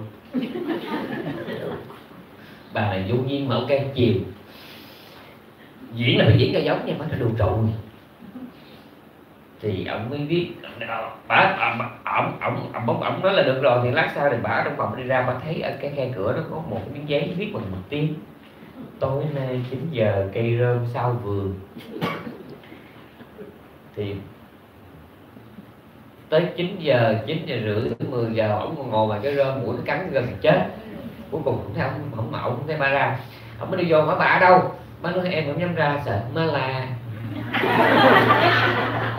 nó hiểu. Không tức là diễn là phải diễn cho giống. Mà một đứa là 80 đứa 82 mà coi như là cũng mừng tiếng nhét cửa sổ rồi tối nay 9 giờ cây rơm ngoài vườn.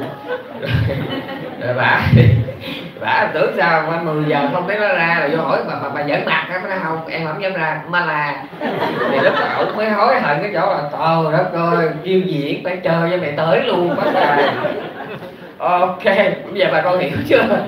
Có nghĩa là cũng cái chuyện đó mà khi mình tỉnh quá thì sao ta? Nếu mà ngày xưa lật ngược lên thời gian mà má la đó, mấy sông cũng lội, mấy đèo cũng qua mà cái lúc mà nó già là bắt đầu nghĩ nào là đạo đức nào là khuôn phép xã hội, truyền thống là sợ má la. Chứ hồi xưa còn khuya nó tám má là là chuyện nhỏ, ảnh mới là chuyện lớn. Hiếp lắm anh cho nên,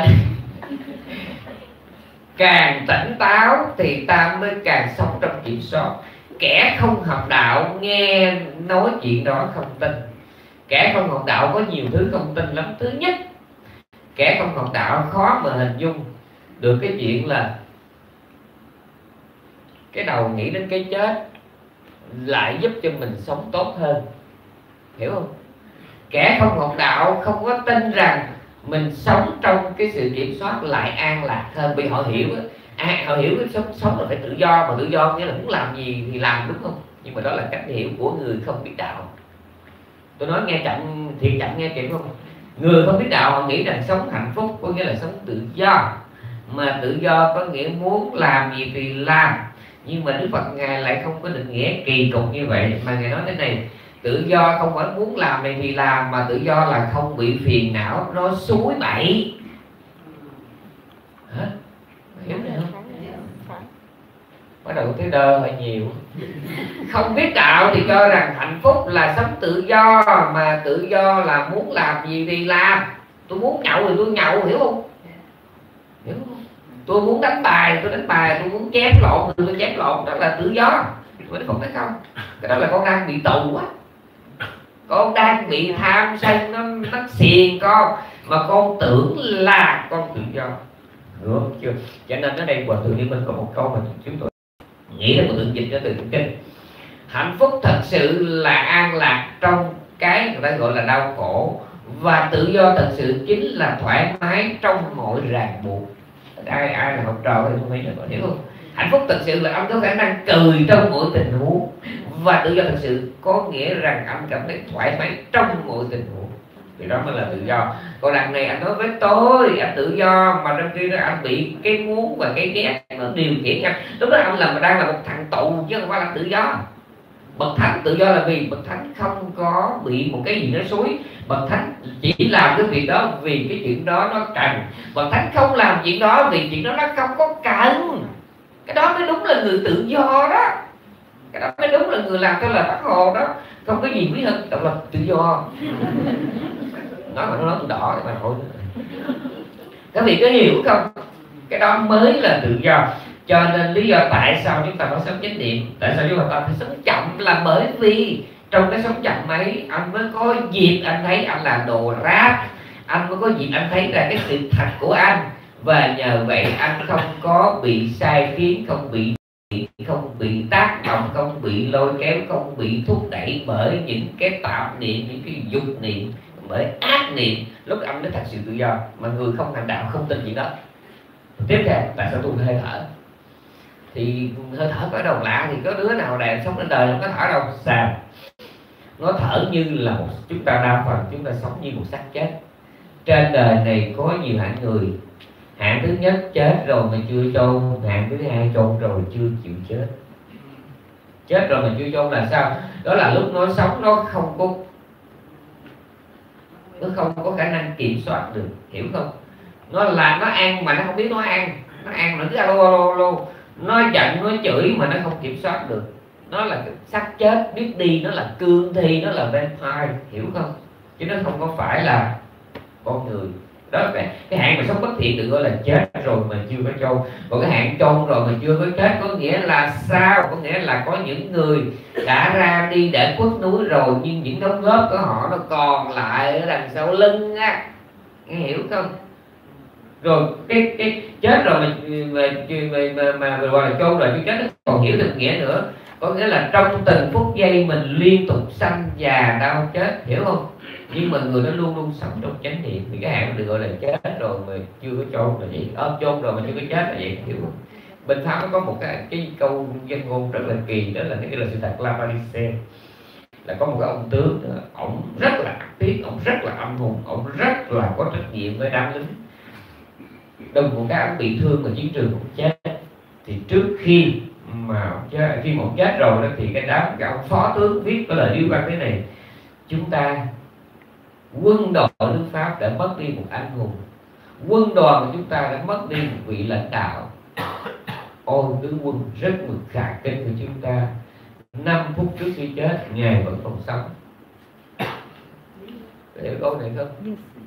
Câu này nếu mình hiểu theo cái kiểu mà tiểu học thì nghe rất là quề vốn. Yeah. 5 phút trước khi chết ngài vẫn còn sống. Nghe rất là quề vốn đúng không chị tôi lớn tuổi hơn tôi mẹ tôi còn lớn hơn tôi rất nhiều. Cái đó nó đâu có cái gì? Nó chỉ là chuyện đương nhiên. Không ở đây câu nó phải quề vốn mà tướng quân của chúng ta 5 phút trước khi chết vẫn còn sống có nghĩa là ông vẫn là một vị tướng xứng đáng đứng đầu ba quân tướng sĩ. Đường đường một đống. Nghe kịp không? Đấy thì ở đây cũng vậy trên đời này có cái loại người chết rồi mà chưa chôn, chính là những người không có tu. Nó sống như là một cái xác biết đi. Tôi biết tôi nói cái này nhiều người rất là sốc, nhưng mà là sự thật. Nó sống mà nó không có hy hiến, nó sống mà nó không có đóng góp mà chỉ biết lo cho nó thôi. Là một. Thứ hai đó là nó sống mà nó không có nhận thức, nó không ý thức được những cái gì nó đang làm, nó không ý thức được trong từng hoạt động lớn nhỏ của nó. Lúc lúc đó được gọi là chết rồi mà chưa có chôn. Yeah cho nên ờ, ở đây nó tại cái hơi thở của vậy. Cái chuyện mà hít ra thở vô có đâu mà hay không không có một hoạt động nào của cơ thể mà nó đều đặn và thường trực bằng hơi thở của chúng ta. Hả? mình ăn thì cũng có lúc ăn lúc không. Ngủ cũng có lúc ăn lúc không. Đi đứng nằm ngồi thì cũng lúc có lúc không, mà riêng hơi thở thì liên tục. Và cái thời gian của hơi thở thì nó nó rất là đều đặn, đúng không? Mà nó cũng không có lâu, nó không có lâu một hơi thở trung bình thì khoảng dưới một phút trung bình. Dưới một phút. Thì nếu mà cái người nào liên tục sống chánh niệm trong hơi thở, có nghĩa là người đó luôn sống trong tỉnh thức, nghe kịp không? Các vị nghe tôi nói sống trong tỉnh thức và trong tỉnh thở thấy nó có gì hay, nhưng mà không nó hay chỗ này. Tôi nhắc lại lần nữa, vì hơi thở là hoạt động thường trực của chúng ta, nên chánh niệm trong hơi thở chính là chánh niệm thường trực cái này học trò tiểu học cũng cũng hiểu được nữa hiểu không? A bằng b b bằng c, vậy c bằng a, hiểu không? Chỉ nó rất là đơn giản. Vì hơi thở là hoạt động thường trực nhất của cơ thể, nên khi ta có chánh niệm trong hơi thở, nghĩa là ta gọi chánh niệm thường trực. Mà chánh niệm thường trực có gì hay? Đã nói rồi. Chúng ta luôn luôn sống trong kiểm soát. Và thứ hai, khi mà sống trong kiểm soát, chúng ta sẽ có điều kiện để nhận ra bản chất của mình một ngày nào đó, khi ta hiểu được mình cũng có nghĩa là ta hiểu được người khác có thể lúc đó khi ta hiểu được mình chỉ là đồ lắp ráp, mình chỉ là transitional transitional, mình là composition, mình chỉ là đồ ráp. Trong đời này không có cái gì là solid, không có gì là massive, không có gì là pure hết. Tất cả đều là đồ ráp hết. Nhớ nha, khi mà mình học với con vẹt, con ghét con nhầm, con xạo con cưỡng thì mình thấy cái đó không có gì hay. Nhưng mà khi mình đưa nó vào thực tập á, đưa cái hiểu nó vào thực tập á, thì mình mới thấy hiểu được mọi thứ là đồ rác mình được an lạc kinh khủng lắm. Thứ hai khi mình thường trực sống bằng chánh niệm thì mình luôn sống trong sự kiểm soát. Ở đây không phải là sống trong sự gò bó mà trong sự tự chủ. Cái câu này phải sống lên người nữa. Sống trong chánh niệm không phải là gò bó mà là trong sự tự chủ tự quyết kiểm soát được quyền là, là chủ quyền trên biển đảo. Thế kịp không? Tôi đã nói rồi. Tâm có chánh niệm gọi là tâm tứ niệm xứ. Tâm không tu tứ niệm xứ gọi là tâm tứ xứ. Cái hiểu không xong nữa. Cái lớp này suốt 7 ngày 10 ngày đã qua 14 lớp học 14 buổi. Trở thành đại ca hết. Xong từ lên xong xuống nhớ cái đó cái đó rất là quan trọng. Tại sao chúng ta phải sống chánh niệm và đêm nay tôi không tin là tất cả mọi người đều thấy pháp môn chánh niệm là quan trọng. Có người ở đây nghĩ rằng đó là pháp tu của tiểu thừa. Làm ơn, bây giờ lên internet. Lên internet đánh cho tôi cái chữ sati, s a t i, rồi mindfulness. Xem coi bao nhiêu người trên thế giới, bao nhiêu cái đầu kiệt xuất của thế giới đã nói gì về cái chữ sati mindfulness. Tại sao có thể chữ sati được? Bởi vì có cái chữ đó thì cái chữ mindfulness mới được nhắc đến như là một pháp tu. Còn nếu mà mình chỉ để chữ mindfulness không mà không có chữ sắp biết cái bên thì nó sẽ định nghĩa lắp lắp lắp lắp lắp la cái ngoài đời, hiểu không? Có hiểu không ta? Ok. Cho nên nó giống như trong tiếng tiếng mỹ, các vị thấy tiếng mỹ, tiếng pháp. Tiếng pháp, máu là gì ta? Là sang. Mà trong tiếng việt mình á, chữ sang nghĩa không? Tiếng pháp tiếng mỹ nợ nặng là lô bình mà trong tiếng việt mình chữ nó là quá đẹp. Tiếng việt mình có con mà đặt tên là dung, tiếng mỹ dung là sao cười? Ok. Người mỹ nghe cái chữ, người việt mà nghe cái chữ lao sao họ hiểu khác? Người mỹ người mỹ nghe chữ lao sao họ hiểu khác? Lao sao tiếng tiếng mỹ nghĩa là ồn ào, đúng không? Lao. Mà tiếng việt nam mình nghe cái chữ lao sao là hiểu khác, đúng không? Bây giờ hiểu chưa cho nên tôi nói gì mà tôi nói xa quá trời trời. Chánh niệm. Mà cái gì mà qua tới cái chữ chánh niệm. Rồi đúng là tại sao mà đánh chữ mindfulness mà phải thêm cái chữ sát lý trước thì khi đó bà con mới thấy từ trường đại học Yale, Stanford, Harvard rồi Sorbonne, rồi Cambridge, Oxford tất cả những trường này họ đều có những công trình nghiên cứu cực kỳ nghiêm túc về cái gọi là tứ niệm xứ chỉ riêng dân Việt ta thì cứ là lục tự di đà làm tới. Niệm mà không hiểu kỹ gì hết. Phật pháp trùng trùng, nếu mà quý vị có cái này không phải chỉ để đội nón, quý vị sẽ đặt một dấu hỏi. Nếu pháp tu chỉ đơn giản là cầu quán âm, cầu địa tạng cầu di đà, thì xin hỏi, suốt bốn mươi mấy năm mà hoàng pháp phật nói cái gì? Hiểu không? Mấy tủ kinh to đùng đó, nói cái gì? Và mấy ông thầy tu quyên thâm bác học được cả một rừng người quỳ lại trong đầu mình chứa cái gì? Hay là chỉ chứa cái câu niệm đó thôi hiểu không? Cái lại đơn nữa? Tôi biết thắc mắc cái đó không? Hiểu nếu mà chỉ đơn giản pháp tu là cứ ba, ba, ba, sáu chữ luật tự di đà đọc hoài là thành thành, thành tấn quả. Thì xin hỏi nói một câu là phạm thượng. Có ngu lắm mà mới nghiên cứu kinh điển hiểu không? Tại vì cái pháp môn nó đủ rồi. Hiểu ta rồi các vị đi hỏi ôn ôn nhất hạnh làng ma hỏi ôn thanh từ. Nó chỉ luận tự thì mắc cái gì mà phải cái gì mà tri vọng? Ở đây biết tri vọng không hy vọng. là pháp môn của ông Ninh Từ dạ. triển khai từ cái thiền trúc lâm đó. Trời dạ, mình là bắt tông, cái ông nước mắm tới nói cho mình nghe, cho đáp tổ nghe mà ông đem những cái chuyện của tổ mà nước mắm nó biết mà tổ không biết là anh trời chưa?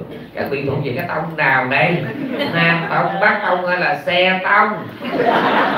Phải có cái tông nào chúng ta đã người ta mà cái chuyện quý vị người ta nói là rào rào còn nguyên một cái rừng tàu hũ mà hỏi rằng nó đơ cái mặt là tông gì?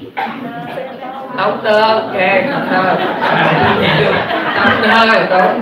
Cái tông gì mà ai hỏi gì cũng đơ tông đơ mà chuyện lại hết nhiều, ai hết nhiều. Cái việc nghe kẹp trong người ta chửi mình, nhưng mà mình vẫn cười là mình tông đơ thiệt rồi đó. Nhưng mà có mình ta chửi bằng đại bi đại bi mà tham cái đại bác tại sao mà bao nhiêu cái đầu kiệt xuất nhất thế giới, người ta lại kêu gọi mình sống cái chánh niệm. Nó có lý do. Bao nhiêu vấn đề lớn bé của hành tinh này đều được khởi đi từ cái sự thiếu kiểm soát của từng người, có đúng không? Tại sao có chữ lộn? Tại sao có đánh lộn? Tại sao có hờn giận? Tại sao có nhớ nhung? Tại sao có yêu đương? Tại sao có hờn giận? Tại sao có ghen tuông? Tất cả đều là những gì của thiếu kiểm soát. Mà chánh niệm là gì? Là và một điểm khác, điểm duy nhất giữa người có học và người không có học đó là khả năng kiểm soát đúng không ta? Yeah. và các vị phải đồng ý với tôi một chuyện. Trong đời sống này, ai có khả năng kiểm soát nhiều thì người đó làm chủ thế giới đúng không? Thì tôi ví dụ như một đất nước có khả năng kiểm soát về một sự, chính trị, ngoại giao. Trong một cơ thể mà mà cái immune system mình nó có khả năng kiểm soát được mình khỏe, đúng không? Còn một thứ mà nó bỏ ngỏ văn nghi thuộc thì banh sáng, ba mươi tháng tư liền. Thì người có hiểu không? Không hiểu. Đọc đơn sống chánh niệm có nghĩa là chúng đưa ta đưa mọi thứ vào cái dòng chảy của kiểm soát. Đưa mọi thứ vào cái dòng chảy của kiểm soát. Đưa mọi thứ khi mà chúng ta không biết Phật pháp chúng ta sống lan man sống cái kiểu mà trâu dạt bèo dạt mấy chỗ. Như chiếc lá trên dòng thì đã nói là bèo dạng mây trôi như chiếc lá trên dòng thì đời sống đó là đời sống thiếu kiểm soát. Mà thiếu kiểm soát nó đồng nghĩa với bất trắc. Mà bất trắc nó đồng nghĩa với bất tường. Có hiểu chữ bất tường không? Hiểu không mà khi mình sống có kiểm soát, có nghĩa là mà ổn định. Kiểm soát nó luôn luôn nó đi kèm với chữ ổn định. Còn hễ mà bất trắc nó đi kèm với chữ bất tường. Mình nghe hai chữ bất mình sẽ lạnh sinh sống rồi, nha cho nên cái pháp môn tứ lượng xứ đó là một cái con đường đi rất là khoa học và từ đó Phật pháp không phải là một tôn giáo, không phải là một religion theo cái định nghĩa của từ điển. Phật giáo không giống như hồi giáo, thiên chúa giáo, không giống như bao nhiêu thứ giáo khác, mà Phật giáo là đạo sống là lẽ, sống là con đường, sống là cái cách, sống là cái kiểu sống. Phật giáo, Phật pháp không phải là cái gì đó mà chúng ta biết được thì tốt mà là nên biết và hơn thế nữa đó là phải biết vì sao? Vì the world is what you see. Thế giới này chính là cái gì anh thấy? Anh thấy ra làm sao thì cuộc đời nó là như vậy và chính Phật giáo dạy ta cách nhìn về thế giới. Cách nhìn quyết định cái kiểu thấy có đúng không ta? Có hiểu không? Cách nhìn mình lúc như thế nào mình si như thế ấy có hiểu không. Tôi không tin là một thằng dốt nhưng dạy biết mỹ với một rừng người trí thức. Cái cách lúc nó tạo ra cách si hiểu không? Dạ. và đôi khi chúng ta lúc mà chúng ta không si bởi vì cách lúc tào lao. Chúng ta nhìn như thế nào chúng ta thấy như thế đó quan trọng lắm. Cho nên thế giới chính là cái gì anh thấy? Và đạo phật lại dạy anh cái cách thấy. Và nhớ một điều. Cái cậu này bắt đầu hơi hơi khó nuốt rồi. Một người phật tử tứ thiệt có nghiên cứu kinh điển sẽ không hết hồn khi nghe tôi nói câu này. Phật pháp thứ thiện Phật pháp thứ thiện không hề dạy mình đội ai trên đầu hết mà chỉ đội cái lẽ phải thôi. Có đúng không? Trước khi Phật tiếp bàn Phật đã nói những điều ta dạy là thầy với các ngươi cái câu đó hình như có đúng không ta? Dạ. có hả? Chưa hết còn bài kinh lộng như sống lúc mà ngài mới thành đạo với gốc bồ đề đó ngài có suy nghĩ thế này ai trên đời này cũng có bạn có thầy có trên có dưới như vậy ta thì sao? Ngài sẽ thấy người bằng ta còn không có nói gì hơn ta. Trên thế giới hiện giờ tại vì chỉ Phật quá khứ thì đã không còn Phật vị lai thì chưa đến thì hiện giờ đó là chỉ có mình ta. Ta chỉ có thể làm thầy người khác chứ, chứ không có ai nữa. Nhưng có một điều ta phải luôn sống theo pháp. Bởi vì pháp chính là cái quy định tự nhiên. Nghe kịp không? Trên chi phật là tờ pháp bởi vì chính pháp tạo ra chi phật. Nghe kịp không? Pháp là ừ. cho nên cái điều quan trọng của mấy cái đạo của tôn giáo là gì? Đạo nào cũng suối mình thờ một cái thần tượng trên đầu nhưng mà riêng cái phật giáo thì không. Ngay cả cái pháp môn mà niệm phật mà được hiểu đúng đắn nhất cũng là cái pháp môn niệm pháp. Bạn có hiểu không? Hiểu câu này không yeah niệm phật không phải là niệm cá nhân cái người abcf e, mà là niệm cái quality của chư phật ba đời mười phương. Hiểu không? Mà quality nó không phải là một cá nhân, nó phải là person. Không phải, mà nó là cái cái characteristic. Nó là một quality, hiểu không? Chứ nó không phải là một con người đừng hiểu như vậy. Nhớ cái đó, rất là quan trọng. Ngay cả pháp môn tứ niệm xứ ở đây hiểu mà hiểu cho tới nơi pháp môn tứ niệm xứ không hề là sản phẩm của đức phật chư phật không phải là create, mà cứ giáo pháp mà các ngài chỉ là người find out thôi. Có phân biệt hai động từ này không? Create nó khác mà find out nó khác. Cũng giống như ngày hôm qua tôi nói, mới biết đạo thì là to give, biết đạo rồi là give up. Hiểu hả? Chưa biết đạo thì móc ra cho cầu phước báo, cầu công đức, tức là to give. Nhưng mà give up có nghĩa là trao ra mà không mong nhận lại bố thí cái kiểu mà tôi viết là bố thí kiểu thả diều, còn viết áp là bố thí kiểu thả thả chim. Hai cái khác nhau nhiều lắm. Nha. Cho nên, các pháp môn tứ niệm xứ, pháp môn mà chánh niệm và trí tuệ nó không hề là của riêng đức phật và thông qua pháp môn đó, các người ta thấy bóng dáng của cái câu nào phật dạy thờ ngàn không? Để khi mình quay lại, mình quan sát mình, và qua đó các con mới tìm ra con đường giải thoát. Vì sao? Là vì con đường ra khỏi rừng chính là con đường vào rừng. Vấn đề là có quay lưng về đâu có quay mặt về đâu. Ngày cho mình tự do suốt mùa kháng chiến mà mình không thèm cứ là thờ Phật như là một kẻ nô lệ là sai. Xem Phật là một ông thần một ông chủ là sai. Phật là người thầy hiểu này không ta? Phật là người thầy, ông Krishnamurti ông có nói một câu mà tôi biết ở đây nhiều người sốc dữ lắm. Bây giờ dùng hình ảnh rất là kỳ, rất là phạm ông nói cái này, Đức Phật là một cái lu nước để mình uống chứ không phải để mình lại. Hiểu không? Cái câu này nhiều người họ nói đi tụi sao khổ tại sao phạm thượng? Nó Phật là cái lu nước, nhưng mà phải tập luôn cái câu sao Phật là một lu nước để mình uống chứ không phải để mình mình quỳ mình lại. Nó hiểu không? Phật dạy hay lắm, Phật dạy mình tự do. Phật dạy mình giải thoát ngay trên lúc hành trì. Phật dạy hạnh phúc không phải đợi tới destination mà hạnh phúc ngay trên journey. Hạnh phúc ngay trên cái trip, on the trip, hiểu không? Mình giải thoát. Khi con đi trên con đường giải thoát thì con mới đến được mục đích giải thoát. Còn nếu mà cái con đường của con là con đường của người nô lệ thì điểm đến của con chỉ là chỗ gia nhốt cái con này xăm nữa hiểu không ta? Con đi trên con đường giải thoát thì con phải thanh thản và phải tự do. Còn đằng này con ngay trên con đường đi mà con xiềng xích nhiều quá.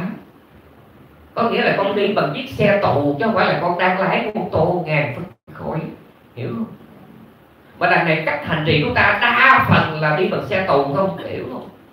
Xe tù là xe sơn vẫn đổ xăng, vẫn lăn bánh, nhưng mà gì khóa và bị khóa từ bên ngoài. Hiểu không?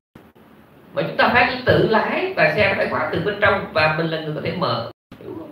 Con đường tứ niệm xứ là con đường của giải thoát là hành. Và đường tu phải là hành trình do. Tự do ngay khi còn phàm. Còn khi mà con tu tập bằng một cái thức tù đầy bằng một ý thức nô lệ, có nghĩa là con đã tới không cuộc đời mà con đã chấm hết cái hành trình trình đạo nghiệp rồi. Đêm nay ôm lại cho bà con bốn đế 12 duyên khởi và tứ niệm xứ.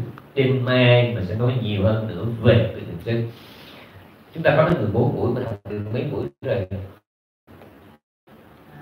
Có người ở đây rất là kỳ quái. Hứng thì tự nhận là ban tổ chức, mà cái lúc nói chuyện nó đơn như là không đơn nha. Dạ. Bảy buổi rồi. Coi như là nửa đời hương vắng rồi đó cho nên tôi mong rằng á, là trong bảy buổi còn lại chúng ta phải dứt những cái vấn đề mà tôi cho là cấp thiết là cần thiết trong cái nhận thức của người phật tử. Vấn đề không phải các vị học với ai mà là làm được cái gì cho mình. Và tôi nhắc lại một cái chuyện nữa không biết lý do nào mà trong mấy năm tôi là đây thỉnh thoảng tôi cứ bị nhiễm giật giật mình rồi run bắn nửa đêm chỉ vì nghĩ cái tất là coi thường đó là sự thật có lúc tôi nghĩ về đó còn sự thanh thản có nhiều lúc tôi chết đi. Thì nói theo trong kinh đó, có thể đó là một cái điểm lầm nhưng mà cũng có thể đó là cái chuyện không có nên. Bởi vì khi mình rung bắn mà mình không biết lợi dụng cái rung đó thì đó là cái chuyện không nên. Nhưng mà chính cái rung bắn đó là một cái lời nhắc nhở hiểu không? Và từ đó phải nói bà không tôi có khoe bà con đó là tôi có hai chuyện mà tôi đang cố gắng làm. Một là bớt sẽ chết. Tức là bây giờ mà nghe bác sĩ khác mà nó có cái gì kỳ kỳ đó là mình không có mà xa xúc suy sụp chèn bẹt như là cái người không biết đạo. Đó là cái thứ nhất. Cái thứ hai khả năng mà đối diện thị phi. Mà cái khả năng đó nó lại gắn liền với cái này. Khi anh nhớ nhiều về cái chết thì khả năng chịu thị phi của anh tốt lắm. Hiểu khi mà các vị biết các vị còn có 3 tháng nữa mà, mà chết nó đứng trước nhà nó chửi cha mình nó mình nhìn giỏi hơn hiểu không? Tâm đơn nữa. Có nghĩa là khi các vị sống bằng cái tâm trạng của người tử tù tâm trạng của cái ung thư kỳ cuối đó, tu tốt lắm. Còn cái thứ mà nghĩ còn lâu lắm nó yêu đời cực kỳ. Và khi nó thấy nó là ông hoàng bà chúa đó đụng tới nó là giết cả họ.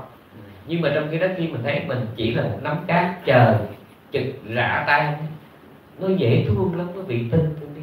Đã Phật dạy mình nhiều cái điều nó rất là khoa học mà không chịu làm cái khoái đi theo cái gì mơ mơ hồ hồ không có rõ ràng. Bởi vì nó mình thích sống theo cái kiểu mà yêu lần đầu á yêu người lơ mơ lơ mơ này nè. mà tôi phá cái cái cặp mà già nãy thôi sợ là tức là thương thì có thương nhưng mà cái tình yêu của cái cặp mà 80 tuổi nó tỉnh dữ lắm. 80 tuổi còn thương nhau không? Còn nhưng mà nó không có còn mơ màng rồi viết mượn tiếp làm thơ rồi không còn nữa đúng không mà thương là vì nghĩa nhiều hơn. Mà đó là kinh Phật đó. khi còn thương nhau mà bằng tha mái đó, bằng tình trai gái đó, cái tình yêu đó nó còn nông nổi nó còn manh động. Nhưng đến lúc nào đó khi chúng ta từ tình chuyển qua nghĩa lúc đó lúc chúng ta thương nhau bằng từ tâm. Khi thương bằng từ tâm đó, thì chúng ta cái khả năng chịu đựng và tha thứ lớn hơn. Còn thương mà cái kiểu mà giọt buồn không tên á, thương là tại vì khoái thôi thương không cần giải thích thương không cần định nghĩa thương là cho hết. Cái kiểu đó, cái kiểu mơ mơ hồ hồ đó rồi nó lại ghen nè, rồi ràng buộc, rồi giam nhốt, làm khổ và đỏ đầy nhau. Khi mà chúng ta thương mà cái kiểu mà chúng ta nắm giữ người ta, thương người ta mà muốn người ta như ý mình muốn là xài không được. Mà phải thương theo cái kiểu từ tâm, có nghĩa là du có ra sao? Tôi cũng thương. Đó là thương từ tâm. Phải tạo cổ không có cơ bắp. Mà bây giờ muốn đi Olympic thì phải tập. Chứ tự nhiên đó giờ cứ xì ke không giờ thì nó mình thi cơ thi nữ tạ được. Nó khó khó là phải tập chứ. Cái việc tưởng tượng các vị nó lưng hồi bao nhiêu kiếp rồi sữa mẹ mình bú nó nhiều hơn bốn biển. Giờ tuần một cái nghe Phật pháp xong mà đầu giống cái sư phụ này mà giống được tôi chết đi hiểu không? Ok khuya là bà con về. À, có này chưa có một cái cô tử cô toàn cổ chào tôi có nói con về nha sư cái tôi theo thói quen tôi nói lái xe cẩn thận nghe cô. Cái cổ ra cổ lo không trời ơi cái điền gì mà cũng giận.